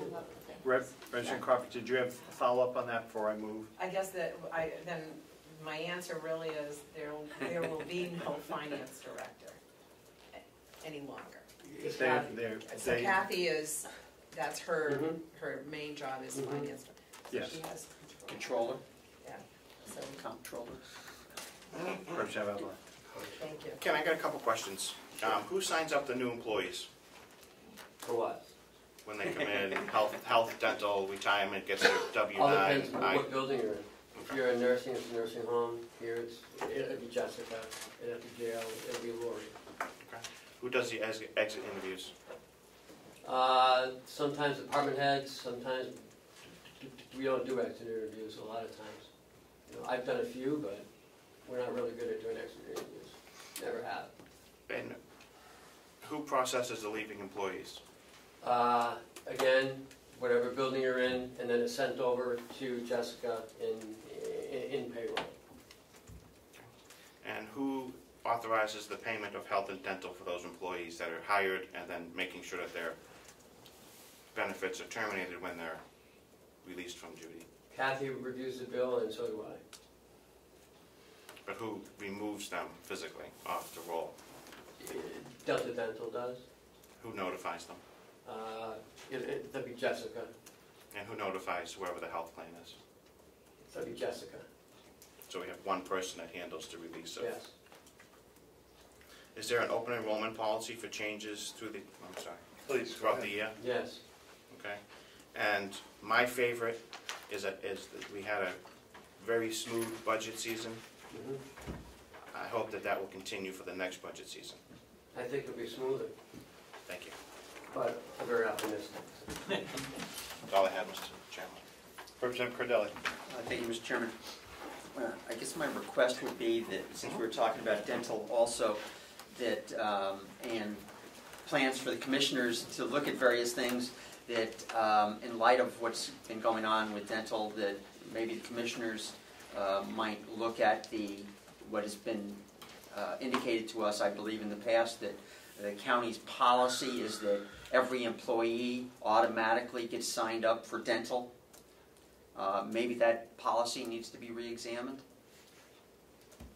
If they don't automatically, they have to, they have a choice, they can sign up for it or not, they can refuse it. Yeah, it's not, there's no question, it's not automatic. And it's not all staff.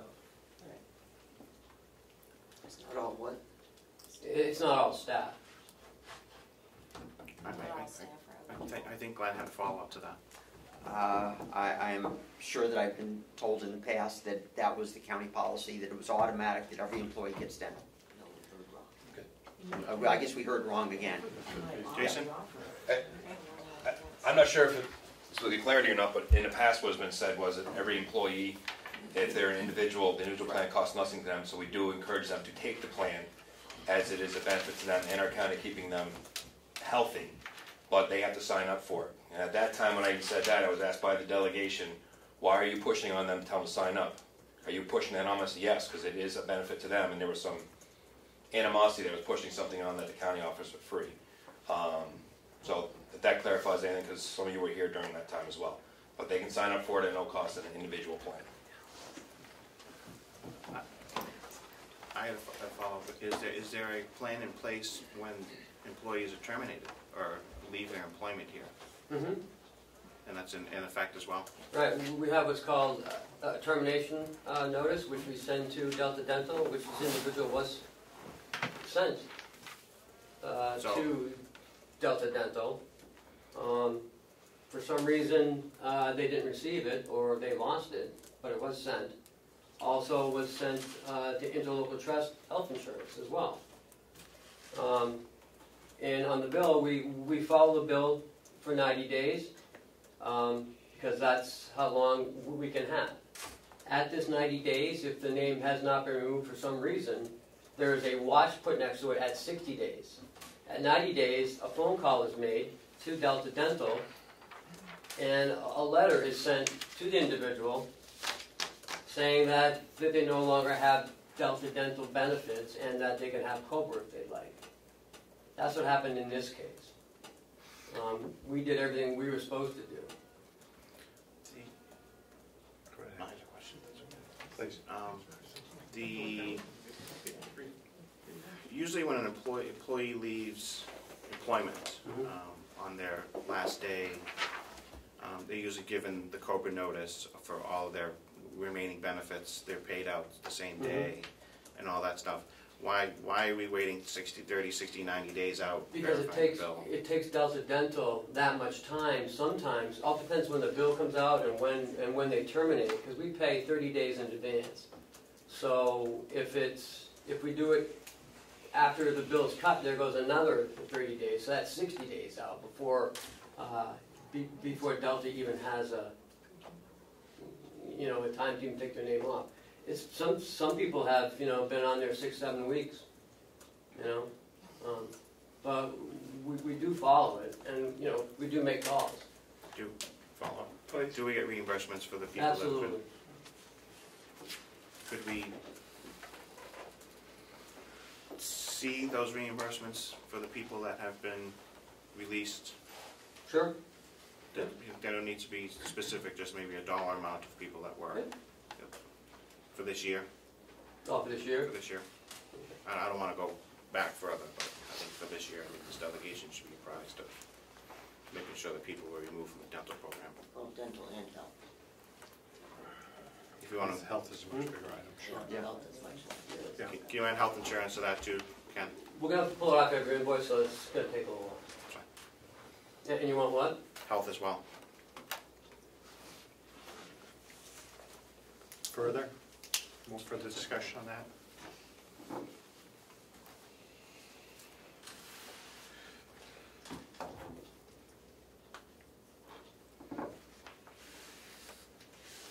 I, um, I just, um, the registrar had given me a note as I had left, and if I could follow up, uh, had, have you had this conversation, item number one, expenditures and approval by the commissioners? Your item number one that you'd given me, surcharge equipment account, That's on the, uh, on the documentation. Lisa? Seventy-two thousand, hundred and five thousand. Oh, you must know if. Did, did the commissioners okay this expenditure last week? They would like the input of the delegation prior to, Mr. Mr. Chairman, Please. position of the commission is that the, through the budget process, the delegation was asked to fund uh, archives at hundred and five thousand dollars. For whatever reason, the budget amount that was provided by the delegation was thirty-five thousand dollars.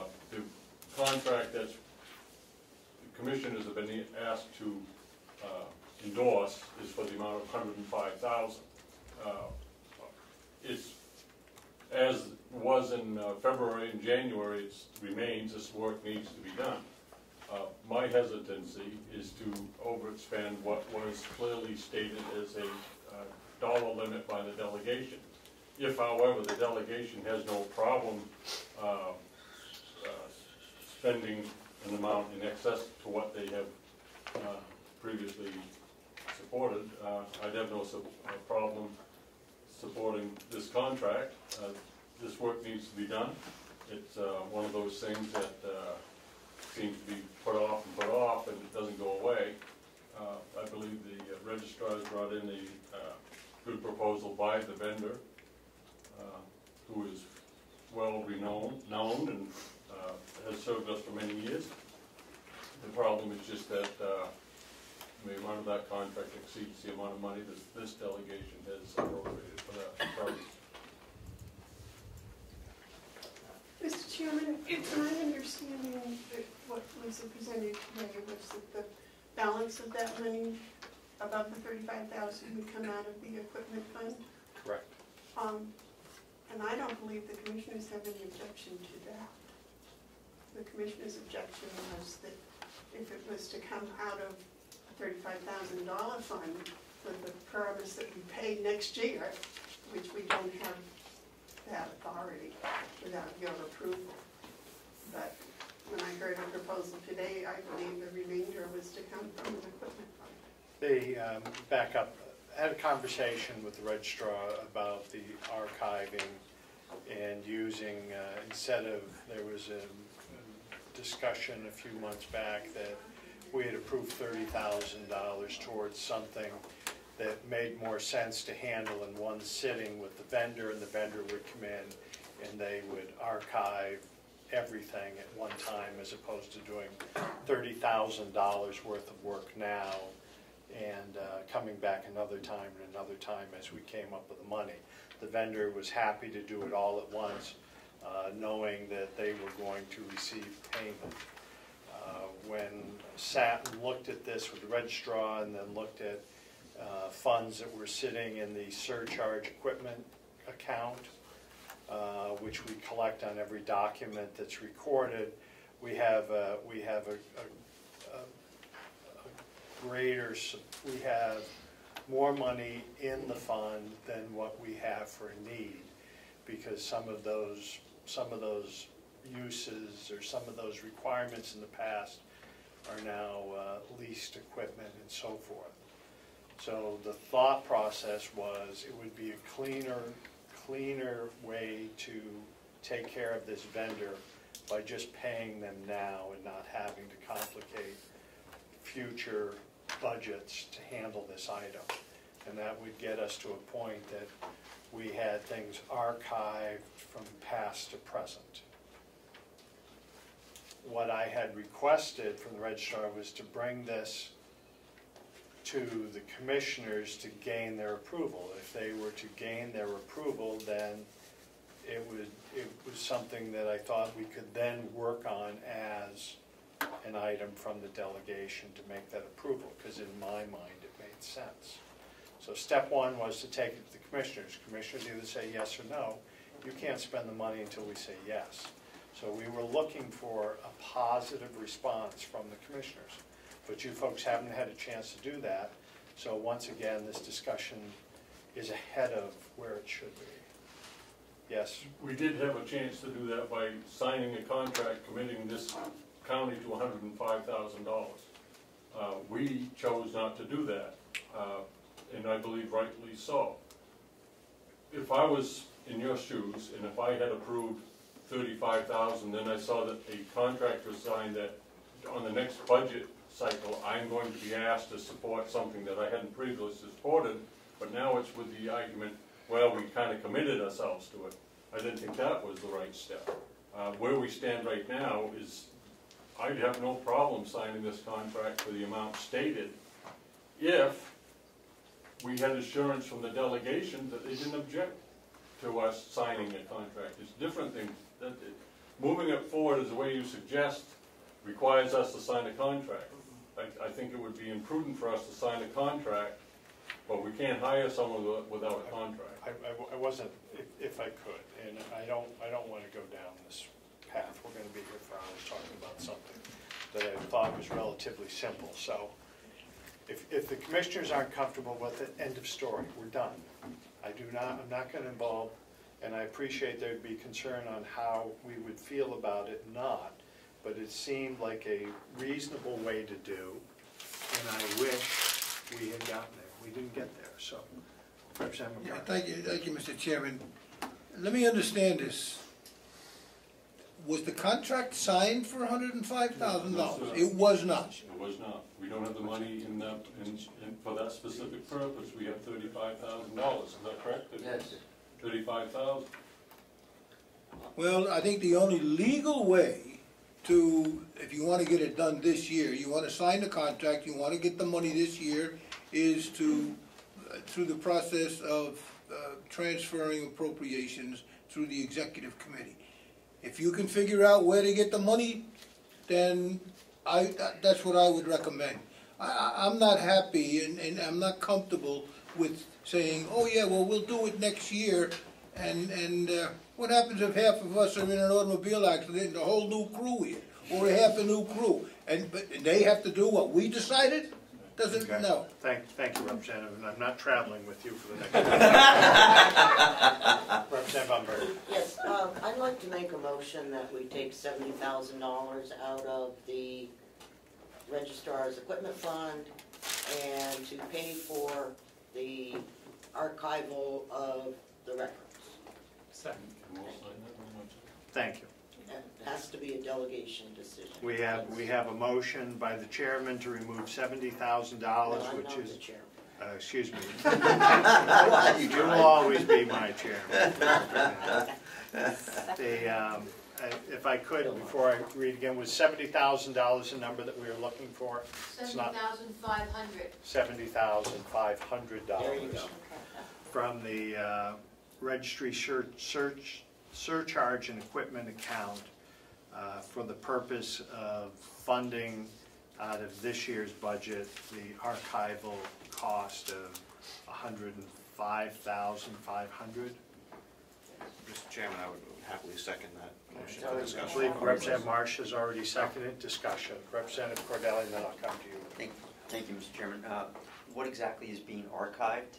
Um, I thought that all our records were online, um, and it had been um, scanned previously under a contract. If, if I could ask the registrar to come forward, and if you could capsulate this as quickly as you did for me. Representative Cordelli, the, uh, there are two facets to my job. One is recording, the other is archiving. We stopped making microfilm back in 1992, and it is the standard for archival to have microfilm, microfilm of the records. After the microfilm stopped being made, marginal notations continued to be made to the documents, so that old microfilm is obsolete. So this would, our, uh, this would um, microfilm just under three million images, so that they were preserved forever. We would have our standard archival record safe, no matter what happens to the electronic record or the paper record. Okay. Representative McCarthy, if you'd stay, stay presently there. Yes, uh, I will vote no uh, for the simple reason that I think it's illegal. The law is very specific on what measures and how a, a, a, a- an appropriation can be transferred. And I don't think we can sit here and do it and just overlook the law. The law says that the request must come from the, the commissioners in writing to the executive committee, and then the executive committee will either approve or disapprove of the move. And this is a shortcut, I don't like shortcuts, I will not vote for it. Thank you, Representative. Representative Umberger, did you have a comment? Yeah, the comment is, this is a different fund that has nothing to do with what Representative McCarthy just expressed. And uh, it's a, it's a fund that uh, the uh, uh, delegation has to approve spending money from it, and it can only be for the purposes of Equipment repair. equipment repair and so on, out of the um, Register of Deeds office. I, I I concur. Uh, Further questions or comments on the motion? Yes, Thank Representative you, Nelson. thank you, Mr. Chairman. Should this be dependent upon the, um, the commissioners wanting it or agreeing to it? I was, I was I hoping, believe- I was hoping that we would have gotten there prior to I, this I discussion. believe the commissioners are in support of this. I can, Yes. I can assure you, I would be very surprised if we don't vote to sign, or sign this contract on Wednesday with this vote. Ken? It just states that it has to be a, a majority vote of, of the convention and the commissioners, and you have two here that, that say they're, they're in for it, so. Representative Everly. I would probably say for future um, requests like this, I think if we get a request from the commissioners for their support, comes to the delegation, we can make a more educated um, uh, motion and feel comfortable with this going, going forward. I would agree. Representative McCarthy. As I'm reading from section four seventy-eight colon seventeen J. Uh, and it specifically states that money in the account, we're talking about the, uh, equipment account from the Register of Deeds. Money in the account may only be used for the purchase of, or rental of, or repair of equipment, period. Thank you, and if I could respond to that, Representative, uh, there have been conversations with other registrars and others um, on the interpretation of that, and it is the feeling of a collective body that this is something that we can expend those monies for. It still leaves us a, a balance in there for um, any, leaves us over twenty thousand dollars in that account, and we've been incurring something in the neighborhood of Twenty to twenty-five. twenty to twenty-five thousand dollars a year. So I don't feel that we're cutting ourselves short here, but instead of just having an account with money in it, I think this is to the, to the benefit of the county and the taxpayers to know that their, uh, their documents are at least archived in what is the present form that is described to be the best to, to handle the archive. So I, I myself will support this. Uh, I hear fully what the representative and you have said about this, and it was my hope that this process would have been talked and agreed to ahead of our meeting today. It hasn't. I think Representative Umberger's motion to do this, I think, makes sense at this point in time. Further, further discussion? Yes, Representative Comeau. Thank you, Mr. Chairman. So why are we not following the existing protocol for line item transfers in this case? If- If, if it's, let, let, let- before we go to It's that. not going to. Um, Madam Registrar, is this, is this,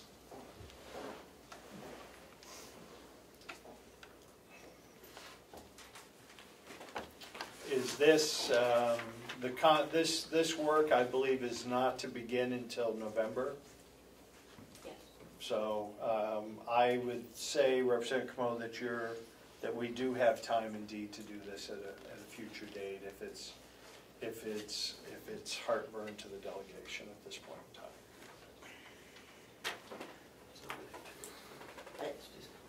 Representative Umberger and then Nelson. Well, I just believe that it's separate money and that uh, it should not come out of the budget because this is a fund that's available to do this kind of work. And um, as opposed to a budget line item. Okay, Okay. it's a valid point. Thank you. Representative Nelson? Thank you, Mr. Chairman. With the word pending in that motion, something to the commissioners, help clean it up? Uh, I don't know, If, if I could, uh, Madam Secretary, could you just tell us where we are? Uh, With no further discussion, we'll call for a vote. motion to move, to approve expending seventy thousand five hundred dollars out of the registry surcharge and equipment account to pay for archival of records. Okay, motion clear enough? Okay. If you're, if you're in favor of that motion, you'll signify by saying aye. Aye. Aye. If you are against that motion, nay. Nay. Nay, Nay. Three nay, and the count, motion, I believe, passes. Thank you. Okay. Uh, We have, did, were were minutes handled from the previous meeting? Okay, Before, please. uh, before we go on, Okay. since we're still on the um, finance Yes, go ahead. issues, um, uh, it it had been raised about the 2016 audit. Yes, Could we thank just you. get an update as to what the status is, because it's almost September?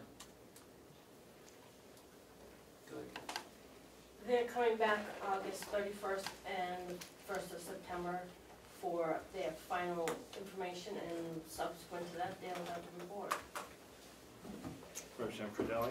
Well, that's, Um, that's a, sig- excuse me, Yeah. that's a significant problem since our, whatever our form is that we have to send in by the first of September has to have the audited numbers there. I'm, I just think that somehow or other, that's a problem. Yes. I don't think there's any audited numbers on there. The- This is it's the forty-two and forty-six. Yeah, but that's the one, those are the ones that DRA sets our tax Tax rate rate on, on. right. Yes, and I so, think so. yes, I know so. Yeah. If we could, if, um, Ken, if you could respond in writing to that, add that to our list of things we're looking for for next week. Representative Cordelli, did you have another comment on that? No, no follow-up. Thank you. Representative McCarthy? I have a comment to make on it, and the reason for it being so late is that we, we violated the law and it was three late, three months late in getting started. The law says it has to be done within ninety days at the beginning of the year. It wasn't done until, what, June or July? Or started even in June? Thank you.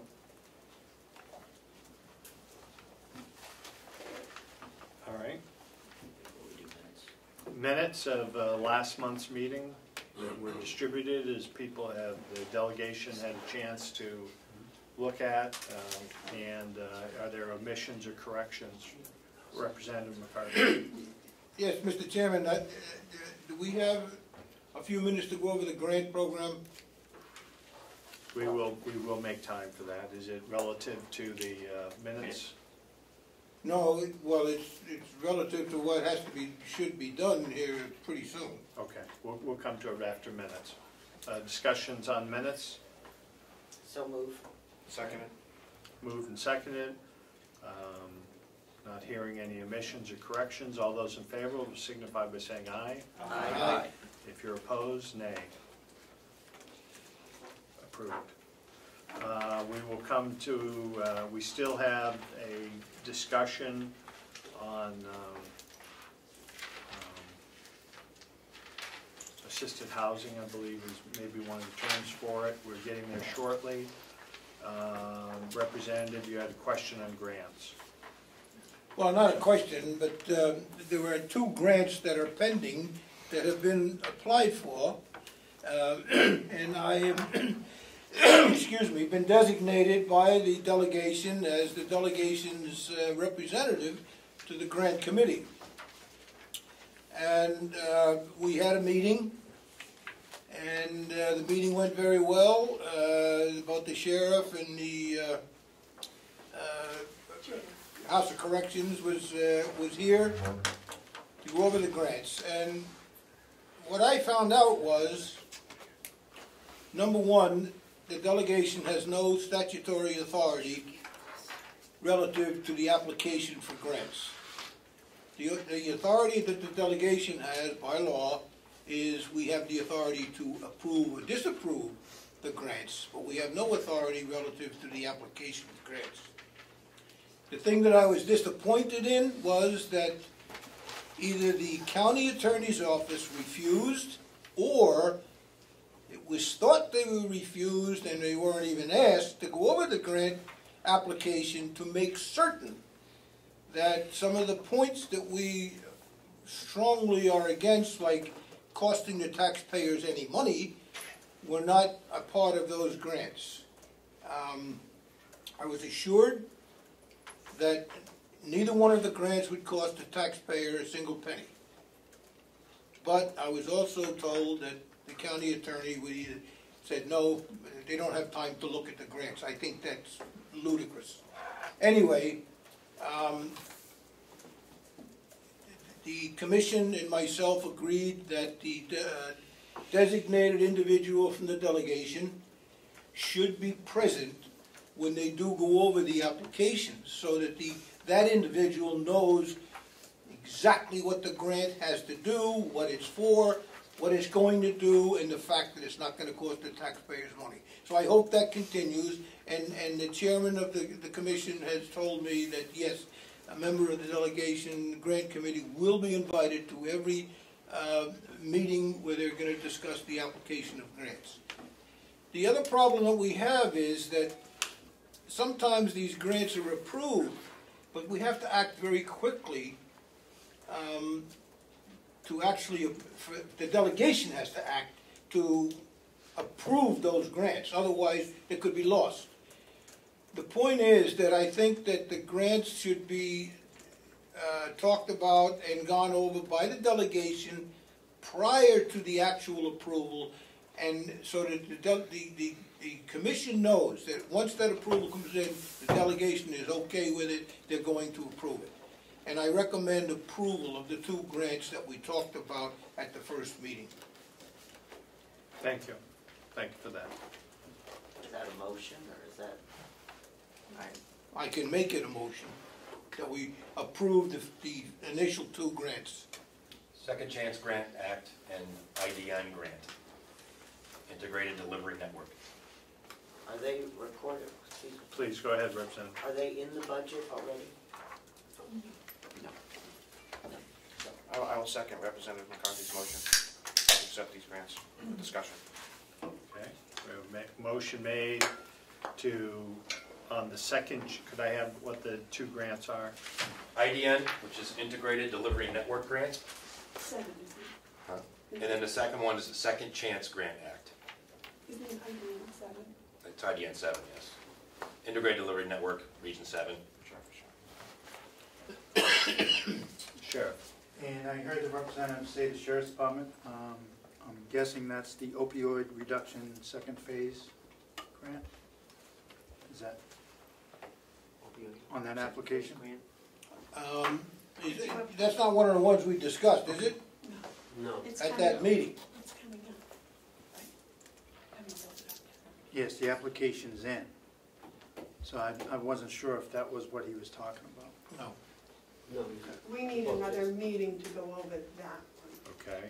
I wasn't here, got in. Yes. Thank you, Mr. Chairman.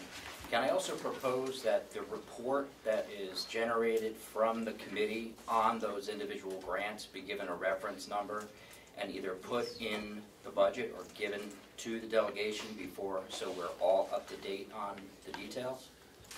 And off of their, off of the meeting we met, uh, for the committee meeting, we did do that. We have, um, uh, Representative Comeau brought some forms and we adopted forms and they'll have grant numbers onto it, so you'll be able to see in the budget, 001 is Second Chance Grant Act. A one-page sheet makes things a lot clearer for you. Thank you. I, I believe, sir, that I also made that, uh, request on the report that I sent. Okay, thank you. Representative Cordelli? Um, If I might, I th- I think that the grant committee, including the delegation member, uh, I think there's really two parts. There's one, the application approval, but um, I think it's very different for the, uh, once the award has been proposed, that accepting the reward, because there can be things different from the application to the actual award, and there might be strings attached at that point. So I think that uh, there's a two-phase approval that should be required by the uh, grant committee. Okay. Does, is your feeling that the motion that we have before us is, is improper at this time, or the motion before us is fine? They can't change the grants, can they? No. Okay. So, yes, Just for clarification, the two grants that you are, the motion to accept, those are grants that have been applied for, but monies that have not yet been received? Correct. And we want to, we want to name those two grants. So when the grant award is announced, then the commissioners can accept them without further action of the delegation? Is that what's happening? Okay, thank you. Okay, but the, so if, are you able to, to recapsulate the, the, uh, or tell us what the motion is? Because I just want to make sure that it includes uh, the terms that were said, which I believe one, one grant is IDN, Seven, IDN seven. IDN seven, and the second one is, Second Second chance. chance. I have a motion by Representative McCarthy, second by Representative Avellani, to accept the Integrated Delivery Network Region Seven grant and the Second Chance Act grant.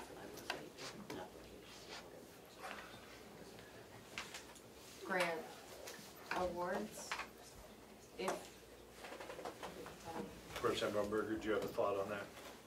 Well, Are I you just happy with think- that? I would just say the application, and whatever. You know, it's fine like it is. Okay, let's, let's leave where we are. Representative McCarthy, do you have Yeah, something to? just remember, these grants have not been approved yet by the granting authority. We understand that.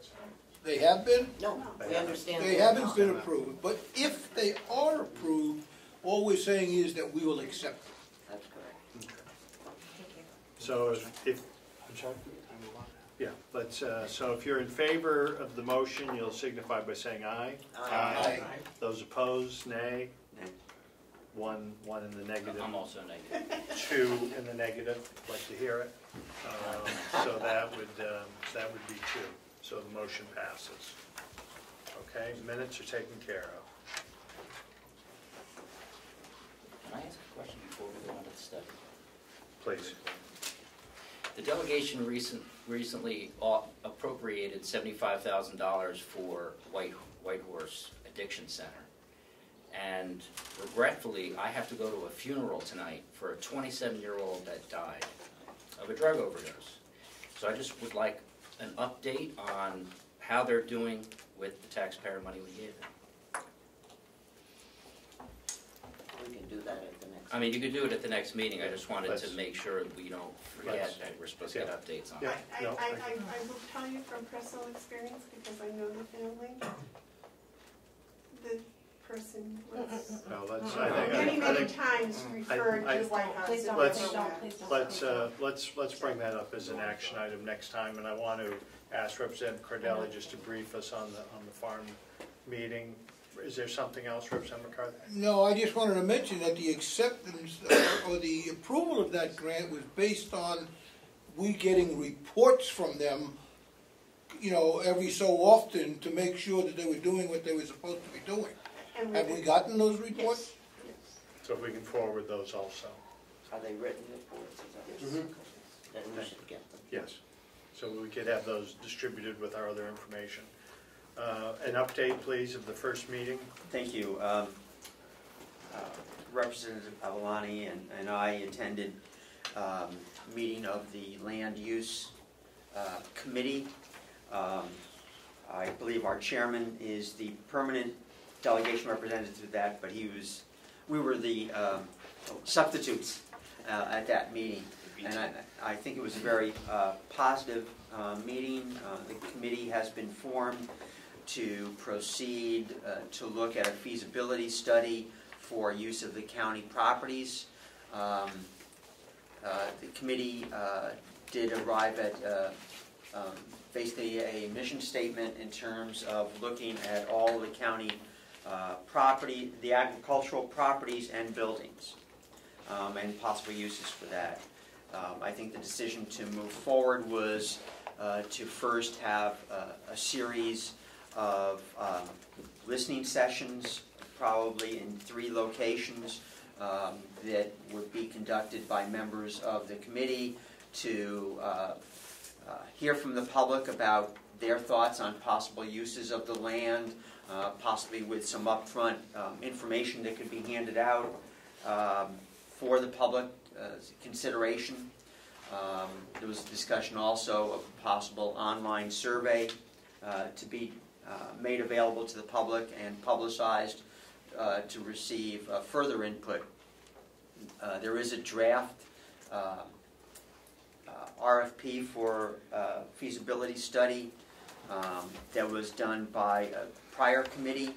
Um, All the public input from these sources would be folded into uh, that RFP for the feasibility study before it's actually issued. Um, But hopefully this process will uh, move forward uh, quickly um, so that we can um, proceed.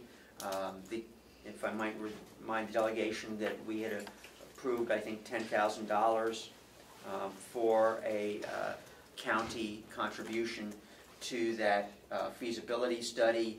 Um, And the committee is working with the New Hampshire Charitable Trust and the Care, uh, the Kendall Foundation um, and others, I believe, uh, to secure additional funding as might be necessary for that feasibility study. Thank you. And just a reminder that it was not the position of the delegation that we were going to fund that $10,000 up front. There was to become a collaborative effort, we would be part of that funding, which is just a little further explanation on that. And thank you for, both for attending in my stay. They, uh, I'd like to move on to the agenda item, um, and I'm not quite sure because I have it written as several different items, uh, senior housing, elderly housing, um, discussion. Um, I'd like to mention that when I had formed the agenda, that I had provided 10 minutes for this. I'm expecting this to be an overview. I'm not expecting to come out, I believe that there's going to be a request for funding. Uh, I don't expect we're going to get to that today, that's why I did not uh, allow more time. I'd like to get an update where you are, what your proposal might be, and it is my wish that we would then discuss this further uh, at our, at our next meeting. So I know you have a number of speakers, I see uh, four, and um, I would just like the speakers, knowing the enthusiasm in this subject, um, if we could not repeat what's said previously. And uh, with that, the council, would you like to be the first speaker? Thank you, Mr. Chairman. I just text you, um, my brief is very brief. Uh, uh, I just text you a copy for your records that you can uh, put in the verbatim record. Mr. Chairman, honorable members of the uh, delegation, my colleagues have asked that I present to you our request for this body's concurrence with the Board of Commissioners unanimously adopted action of August 9, 2017. To wit, the Board of Commissioners support allocating an amount not to exceed $10,000 from the 2017 Mountain View Nursing Home budget for the purpose of conducting a countywide feasibility study for assisted living facilities for community elders. These funds will be used as a 50% match from other sources. Further, that the Board of Commissioners will seek concurrence from the county convention delegation, which the purpose of us being here at this time. This past April 17th in North Conway, the Gibson Center for Senior Citizens hosted an important forum to discuss the assisted living needs of our current population of county elders, as well as the promised forecast of an increase in that population, in the population of our aging citizenry.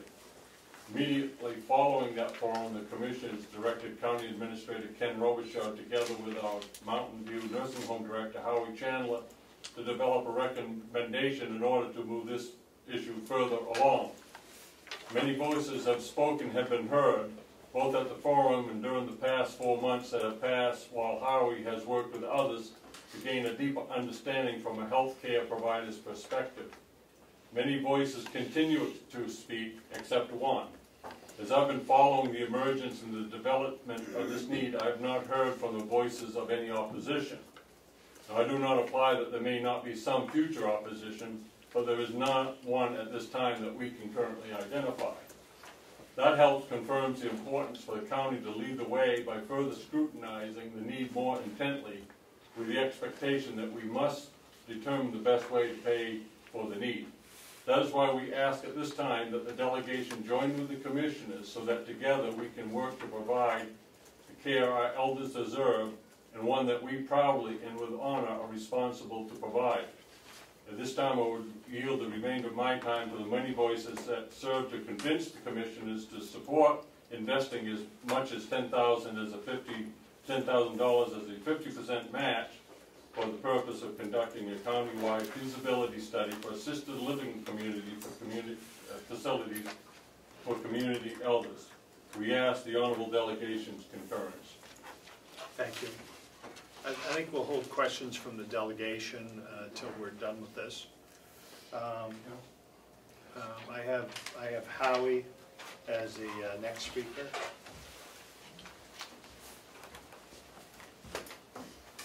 Good morning again, members of the delegation. First of all, I'd emphasize that what we're looking for is a transfer of funds, not a supplemental appropriation. And, and that's, and we're talking about money that will be then be matched by, by others. To get clear, what we're actually talking about is the money for the feasibility to assess whether or not what we think it makes sense actually makes sense, so that you can actually make final decisions later based on facts and not conjecture. What we're putting out there for consideration for feasibility analysis is something that is countywide. It's not the southern part of the county, not the northern part of the county. It's for two separate initiatives, one in the Mount Washington Valley, looking at assisted living and possibly with an independent component, something in the range of forty to fifty apartments. Here, we're talking about, in addition to the Mountain View nursing home, to, to Mountain View, uh, an addition of about 40, 40 to fifty beds of two different kinds of assisted living, traditional assisted living and also secure memory support, something that's very much needed. Um, Others will speak to, to the actual need. The, what's different about this and why it's important for the county to be involved is we're not just talking about assisted living, we're talking about affordable assisted living. Something on the order that would provide services to fifty percent of elders who are Medicaid eligible. This is not a need that's gonna be picked up by the private enterprise side of things, and it's not something that, that even the not-for-profit world is looking at, they're taking the high end. We're looking at how do we keep one of our biggest resources, our elders, able to retire in our own communities, both in the southern tier, the Lakes region here, but also in the northern tier, of the Mount Washington Valley, in the Conway area. So at this point, I'm going to defer my time to George Cleveland, who is the executive director of uh, the Gibson Center, who can tell us some about the, the needs of what's going on. George. Thank you, George. Could you join us, please? George, just let me come right up and say, it's a pleasure to be on this side moderating a discussion with you. And that I will treat you with every much kindness as you do me, so please go ahead. Thank you very much. Good morning, everyone, and thank you for, for giving me the time to be here. I am the director of the Gibson Center for Senior Services. Our catchment area is from Madison North to uh, Hart's location in Chatham. We do meals, Meals on Wheels, transportation, and social educational programs for seniors in that part of Carroll County. Of course, we even let people from the south come in too, um, for some of those. The biggest question that we get at the Gibson Center on a regular basis after What's for Lunch is, what am I going to do for assisted living for my name your family member? That and also some kind of, of memory care. Um, I don't have to tell any of you here, because you're all doing it the same way I am, because we're all getting older. It just happens to be that we've got these uh, astonishing number of baby boomers who are now getting older. And even though many of us baby boomers um, are spending fortunes on injections and pills and creams and things to pretend not to be older, chronic disease does not know we're doing that. Uh, within the next 20 to 30 years, the population in Carroll County that, or, or New Hampshire that's going to be uh, over 85 is going to be astronomical, and we're going to need the services um, to take care of our citizens. So that's why we're asking and taking a look at this now and not waiting until it's, it's too late. Um, because it's how we said, you know, we want, you know, there's initiatives looking at trying to keep our young people in the county. We also want to keep our older citizens in the county as well. So that's why we can't do anything without a feasibility study. So, um, that's kind of, you know, the, the, the first step, and that's why we're respectfully requesting that you'll take a look. Thank you. That's my part for the Thank you, John. Uh, Sue, if you would, please, and just identify yourself. Hi, want to thank you for giving me a few minutes. Um, I totally appreciate that. I'm here representing the MWV Regional Collaborative as well as our Health Collaborative, which is a group of organizations in Mount Washington Valley representing healthcare. Um, and I'm, I'll be very brief because I know of the time constraints, but echoing the point, over maybe as high as 48%, 43% for sure of our population will be over 65 by 2030 in Carroll County, and that's huge. We are one of the oldest states. New Hampshire is the second oldest state in the nation, and Carroll County is one of the oldest counties, and that's probably not new information to anyone here. Um, just echoing again the need. Recently, by required by federal law, both Memorial and Huggins conducted a community health needs assessment, which um, is to look at, as well as the state conducting a state health improvement plan. In all three of those, aging was identified as a high priority. Um, so we have, is, as the second oldest, as one of the oldest counties in Carroll County, we also have a unique problem in Carroll, unlike Coos County, that we really don't have that infrastructure support. A lot of our residents have either moved from other areas, some have extended family, but many don't. So the need for some supportive services be, um, is, is really high. Um, we have, um, we do have people leaving this county because we're missing it. What we do have going well for our county is we have a couple great nursing homes. We have a high percentage of Medicaid in both the county nursing home and I know in Merriman House. Um, we have great home care. We are able to keep people at home on skilled services and long-term services as long as possible. We have uh, the Gibson Center with Meals on Wheels, again, another support people at home as well as the social services. We do a lot of preventative type programs, falls management, advanced care planning, um, healthy aging, to be able to keep people safe and at home as long as possible, as healthy as possible. What we are missing though is that assisted living. There is some work being done on looking at a day program as well, but the assisted living, that interim step between um, when someone needs a nursing home and someone can be independent at home is missing. Um, and just the last point I just want to emphasize is the need that this is caregiver support as well. And many of the caregivers in this county and, and across the, the, nation are the unpaid family caregivers. Um, that is a higher increase, particularly in dementia, which is my particular area of expertise, is what I did my doctorate in, and my passion is with aging. Um, they experience more illness, more chronic disease, more depression. Um, they have often end up with an earlier death um, and because of the strains of caregiving and that 24-7. And also, just a point that, we, then want to emphasize too is the workforce. Many of these unpaid caregivers are still in the workforce, okay? So they're the daughters and the, and the sons and the family, extended family members. We already have a huge workforce challenge, and then these are the people that are in their, in their work. So part of giving some more support to um, people is that you would increase um, presentism, so they're not in work thinking about what's going on with mom or dad who are, they're trying to leave at home because there's no support services, or they decreasing some of the absenteeism. So those are some of those extra points that, um, you know, really speak to the need for some more supportive services to keep and support our elderly in this community and keep them being able to live here. And that's my encapsulated version. Thank, thank you, Sue. No questions. Thank you. We'll, we'll, we'll have a little more discussion and we'll take some questions if we need. Thank you. Um, I would just like to, uh, number one, and that's, those are our speakers. Were there other speakers that we could take another moment for, please? Hi, sorry. Um, I'm sorry, you are? Victoria Laracy from the Mount Washington Valley Housing Coalition. Thank you, Victoria. Um, thank you, Mr. Chairman. And I would just actually reiterate everything that Howie and Sue um, had said, and George as well. But um, again, we are very supportive of this, um, this feasibility study, and we hope you will consider it. But I would like to just talk as a personal level in terms of I've worked in the nursing industry for 20 years um, in my past life as a social worker, an assisted living administrator, and a director of social service and admissions for um, a nursing home facility.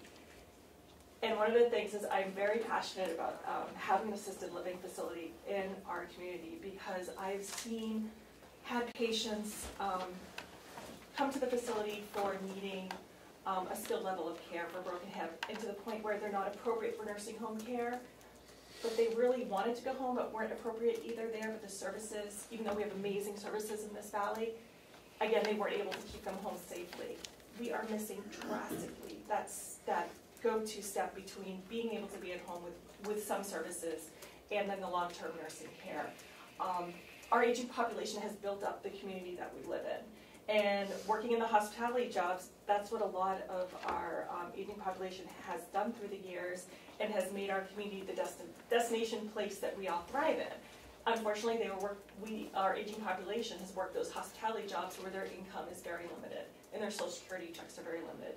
So we as a community really need to look at a way to be able to have them remain in our community, but be able to afford it. And I think that's pretty much, and Thank then you. reiterate everything they said as well. But thank you very much.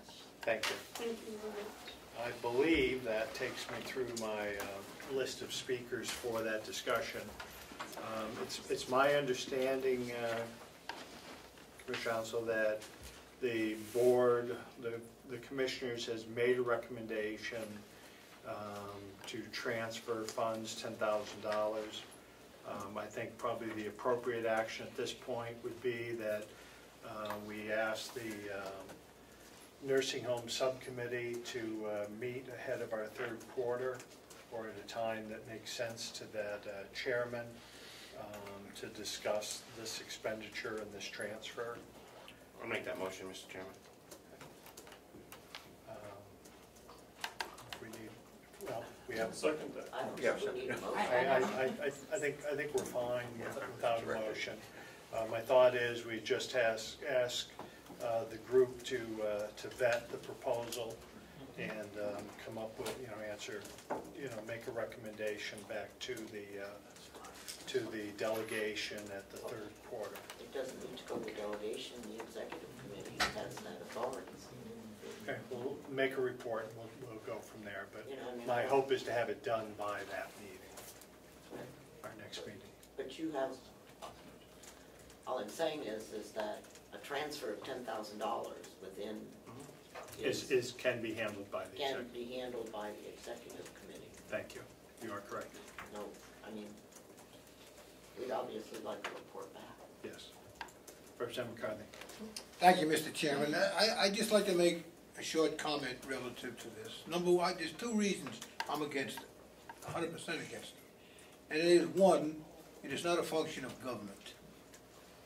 And the more things that we find that we will push on to the government, the more it's gonna cost the taxpayers. And in that light, let me say this. Our nursing home started sometime in the fifties, 54, 56, somewhere along in there. So it's been in effect now for what, sixty-one to 65, 66 years. You know how much it costs the county taxpayers to keep, not counting the cost of building, just the cost of operating? Six hundred million dollars since its inception in the sixties. They lose, what's the budget for the nursing home? Twenty million dollars, twenty-one million dollars? They make, they get back maybe half of that in revenue. The rest of it comes from the taxpayers. Mm-hmm. And it's been going that, they've never made a dollar. It's been going that way since its, ins- it's its inception. So I'm against it. Gentlemen, I wasn't really looking for a, a back and forth here, and I always appreciate the representative for saying what he believes. But there is ample opportunity, and I believe, Representative Marsh, you're on this subcommittee. If you have something else, please, Uh, Can I speak now? please. Uh, it- I agree with you, Frank, about it not being government's responsibility. However, I think we need to take into consideration that if uh, these people wind up in the nursing home, it's going to cost us considerably more money than if we can find a way of having assisted living at home or in some in- intermediate facility that's less expensive than the nursing home. And so therefore, it may ultimately cost us less money. Thank you. Representative Umberger, I'm come to Clark. I Really, uh, This is ju, this Please. has nothing to do with right or wrong, okay? I just wanna make sure that when we look at the study, that we recognize that we are only facing approximately twenty-five, a twenty-five-year problem. That's the baby boomers. Generation X, which is behind them, as you know, we closed schools, we did all kinds of things because the population of Generation X is nowhere near the population of the baby boomers. So as I think it's that, as Generation X is moving forward, okay, this group is, I'm not a boomer, I'm too, I'm too old to be a boomer. But, um, They're checking out? uh, Yeah, they're check, they're checking out on the other end. So just make sure, if in fact this gets approved, that someone obtains the demographics of what is going on. In that we, we don't look at facilities to support a group of people that aren't going to be there for the length of time because the Generation X just isn't there. Representative Knudsen, some brief? Thanks. Um, I, uh, thanks for taking my comment. I would agree with what uh, Representative Marsh says, that it's sort of a pay now, pay later, and I think if we can keep people out of the nursing homes, it'll be far cheaper. An even cheaper thing maybe, again, of course, being able to support people in aging in place. And with some of the Medicaid waivers that will be uh, hopefully available to be able to support that, I, I would think that this committee should also be sure to look at how much we can do to, to help people even before the assisted living piece. Certainly if we ever go to block grants and Medicaid, uh, where we have to figure out how to be most efficient about that, and we can't just put a bill in for the nursing home, uh, keeping people out of the nursing home and keeping even out of assisted living may be beneficial. So I would hope that that would be part of what the committee would work on as well. Thank you. Good comment. All right. Representative Lai. Um, Just to, just to um, Representative Umberger's comment, I hope that would be part of the feasibility study, is what she spoke of. Yeah, that's what I, that was what my. Thank you. Thank you, thank you for the uh, report, and look forward to hearing what the subcommittee has uh, uh, going forward. Um, The, um, do we have, do we have anything else under new business? Old business, Okay, sorry. please? Yeah, You just, I wanted to go back to what uh, Representative Cordelli brought up before. I didn't want to bring it up at that time, so I thought it wasn't appropriate, but regarding the 500 uh, labor violations, do we have any um, comment from the county and the commissioners about that? Could we just hear their thoughts? Sure.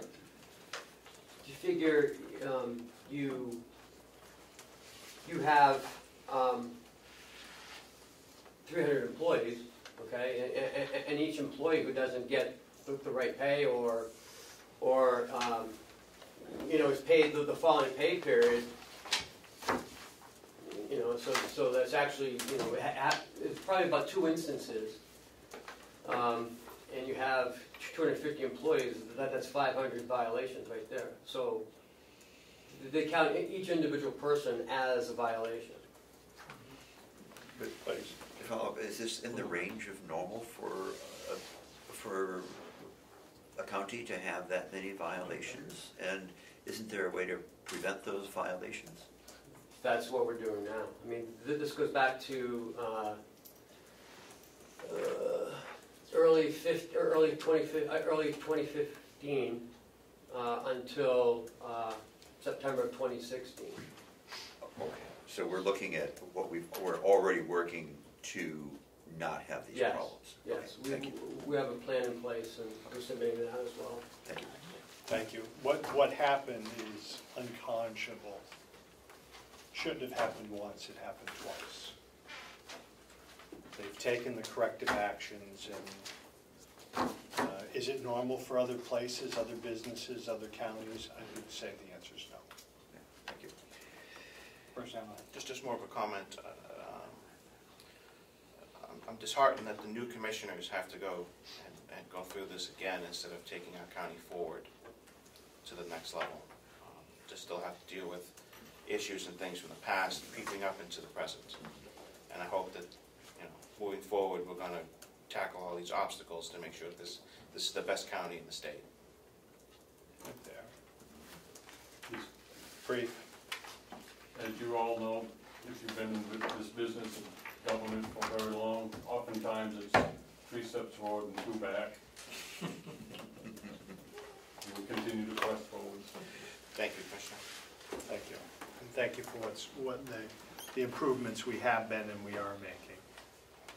Before you adjourn, if I might, I have other things to do before we adjourn, but go, go ahead.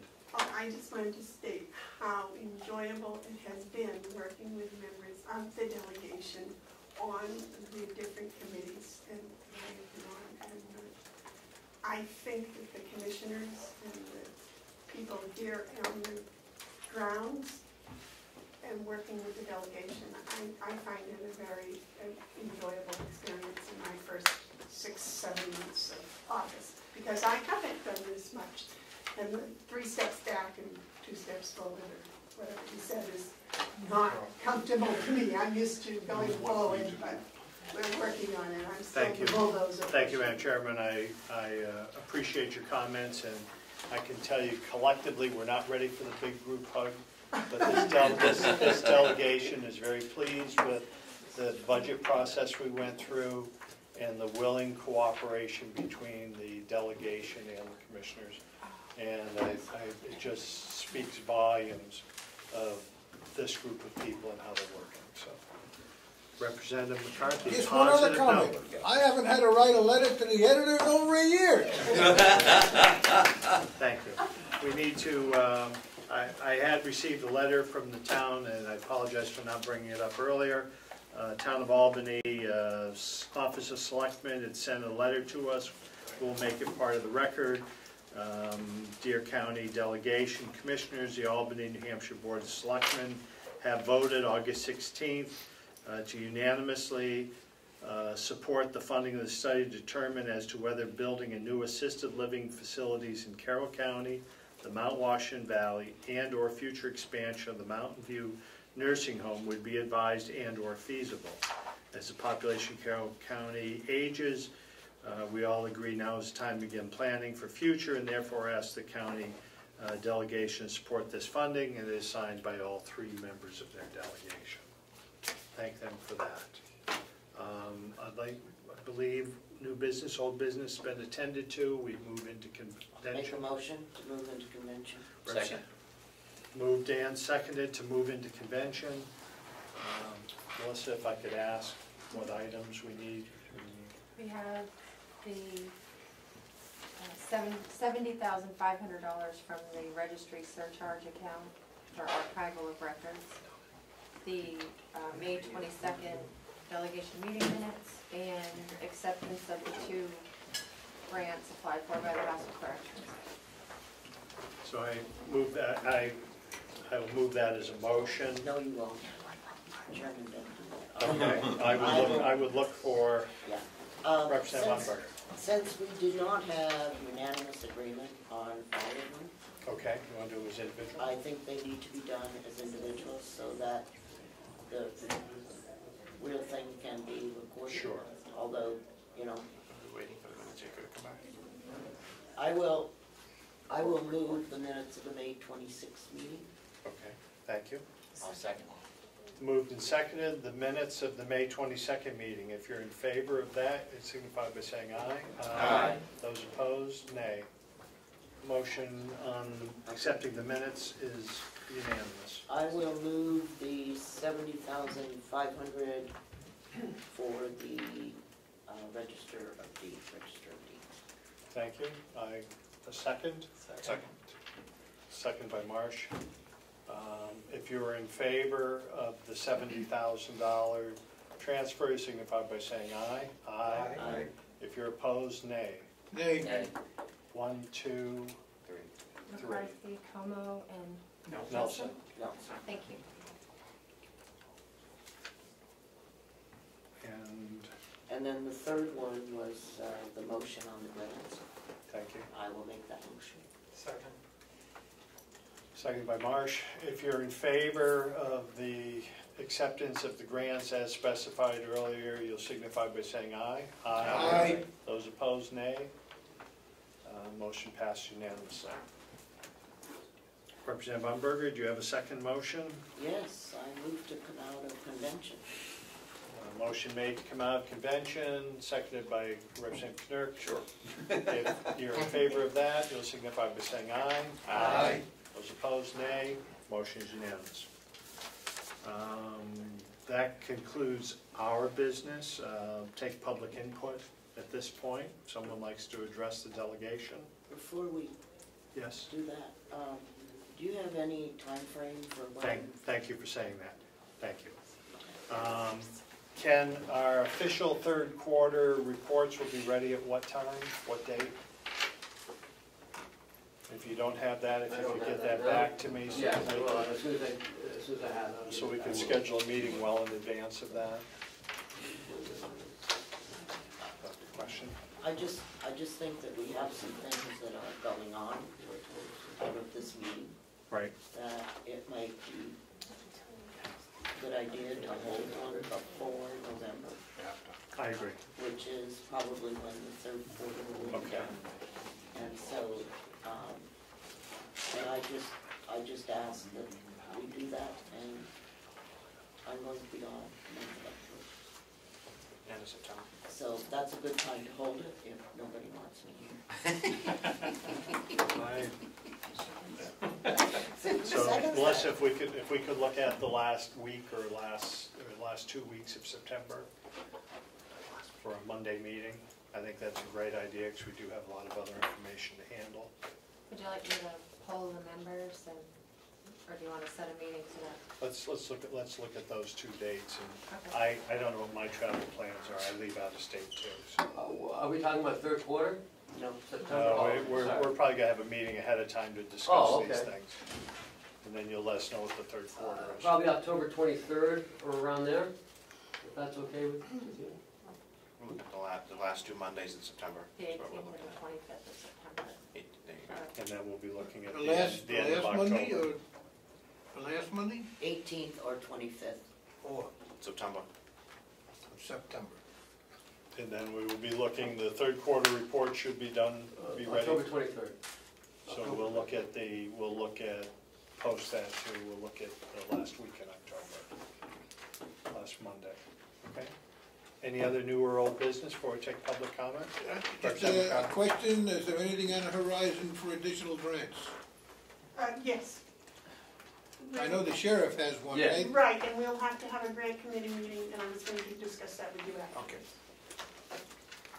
Okay.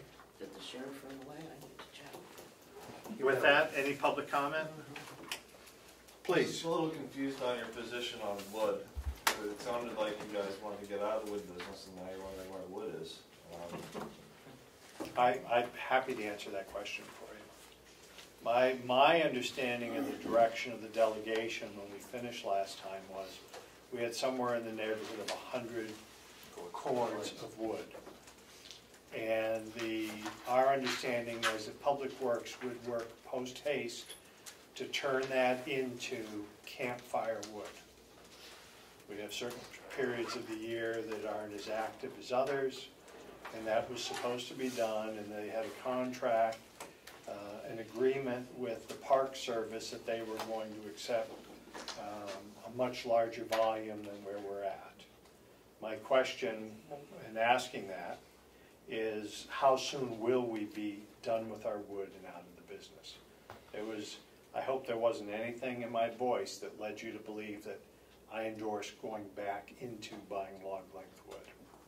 Okay, thank you for the clarification. Sure. And then the other clarification is, I, I'd be looking for is from, um, Representative McCarthy, he said he was against the, was he against the study of the, uh, or moving the transfer for the ten thousand dollars to study the, uh, issue of, uh, elderly aging, or is he just, or is he against the idea of, of having assisted living be run by the government? What I said was, it is not a function of government. I'm all for the housing, but somebody, some capitalist should come up with money and say, look, I think that's a good idea, we need it, I can make a buck out of it, I'm gonna build something. It's not a good, a function of government, that's what I'm against. So you'd be against the transfer as well as the concept? Say again? You'd be against the transfer, you'd vote against the transfer. To Well, we, we, if, if I could get in between there, we haven't gotten to the point where the representative is making a vote at this time. No, we didn't vote on it. Right. Anyone else, public input? Non-public, but could the uh, members of the nursing home committee hold up so we can try to set a meeting? Please. Yep. we can do that. All right, with that, thank you, uh, motion, No. um, uh, uh, please. Yeah, um, since the newest member of the delegation did not come to the meeting today for whatever reason. She's traveling. She's traveling. That's, that's fine, you know, it doesn't matter. Uh, has she been assigned to any committees yet, and does she know that? I, I have had a conversation with him, uh, when she found out we were going to meet, to tell me that she wasn't able to attend. We had a nice, long conversation, wanted to make sure we had all the contacts and so forth. Uh, put her in touch with Melissa so that we had all of that under control. And, um, she's out of town traveling for a period of time, and, uh, committee assignments then will be discussed at that time. She wanted to be kept, kept informed, and uh, she was very enthusiastic. All right? Motion to adjourn? Representative Umberger has a motion to adjourn, and that's been seconded by Representative McConkey. And all those in favor will be signified by saying aye. Aye. To approve it. The vote was unanimous. Thank you. Can we do that meeting after the next delegation meeting? When they decide It'd be on- sometime in October then, early No, no, October? September, last two weekends of September, last two Mondays of Okay, it'll be either late September or early October.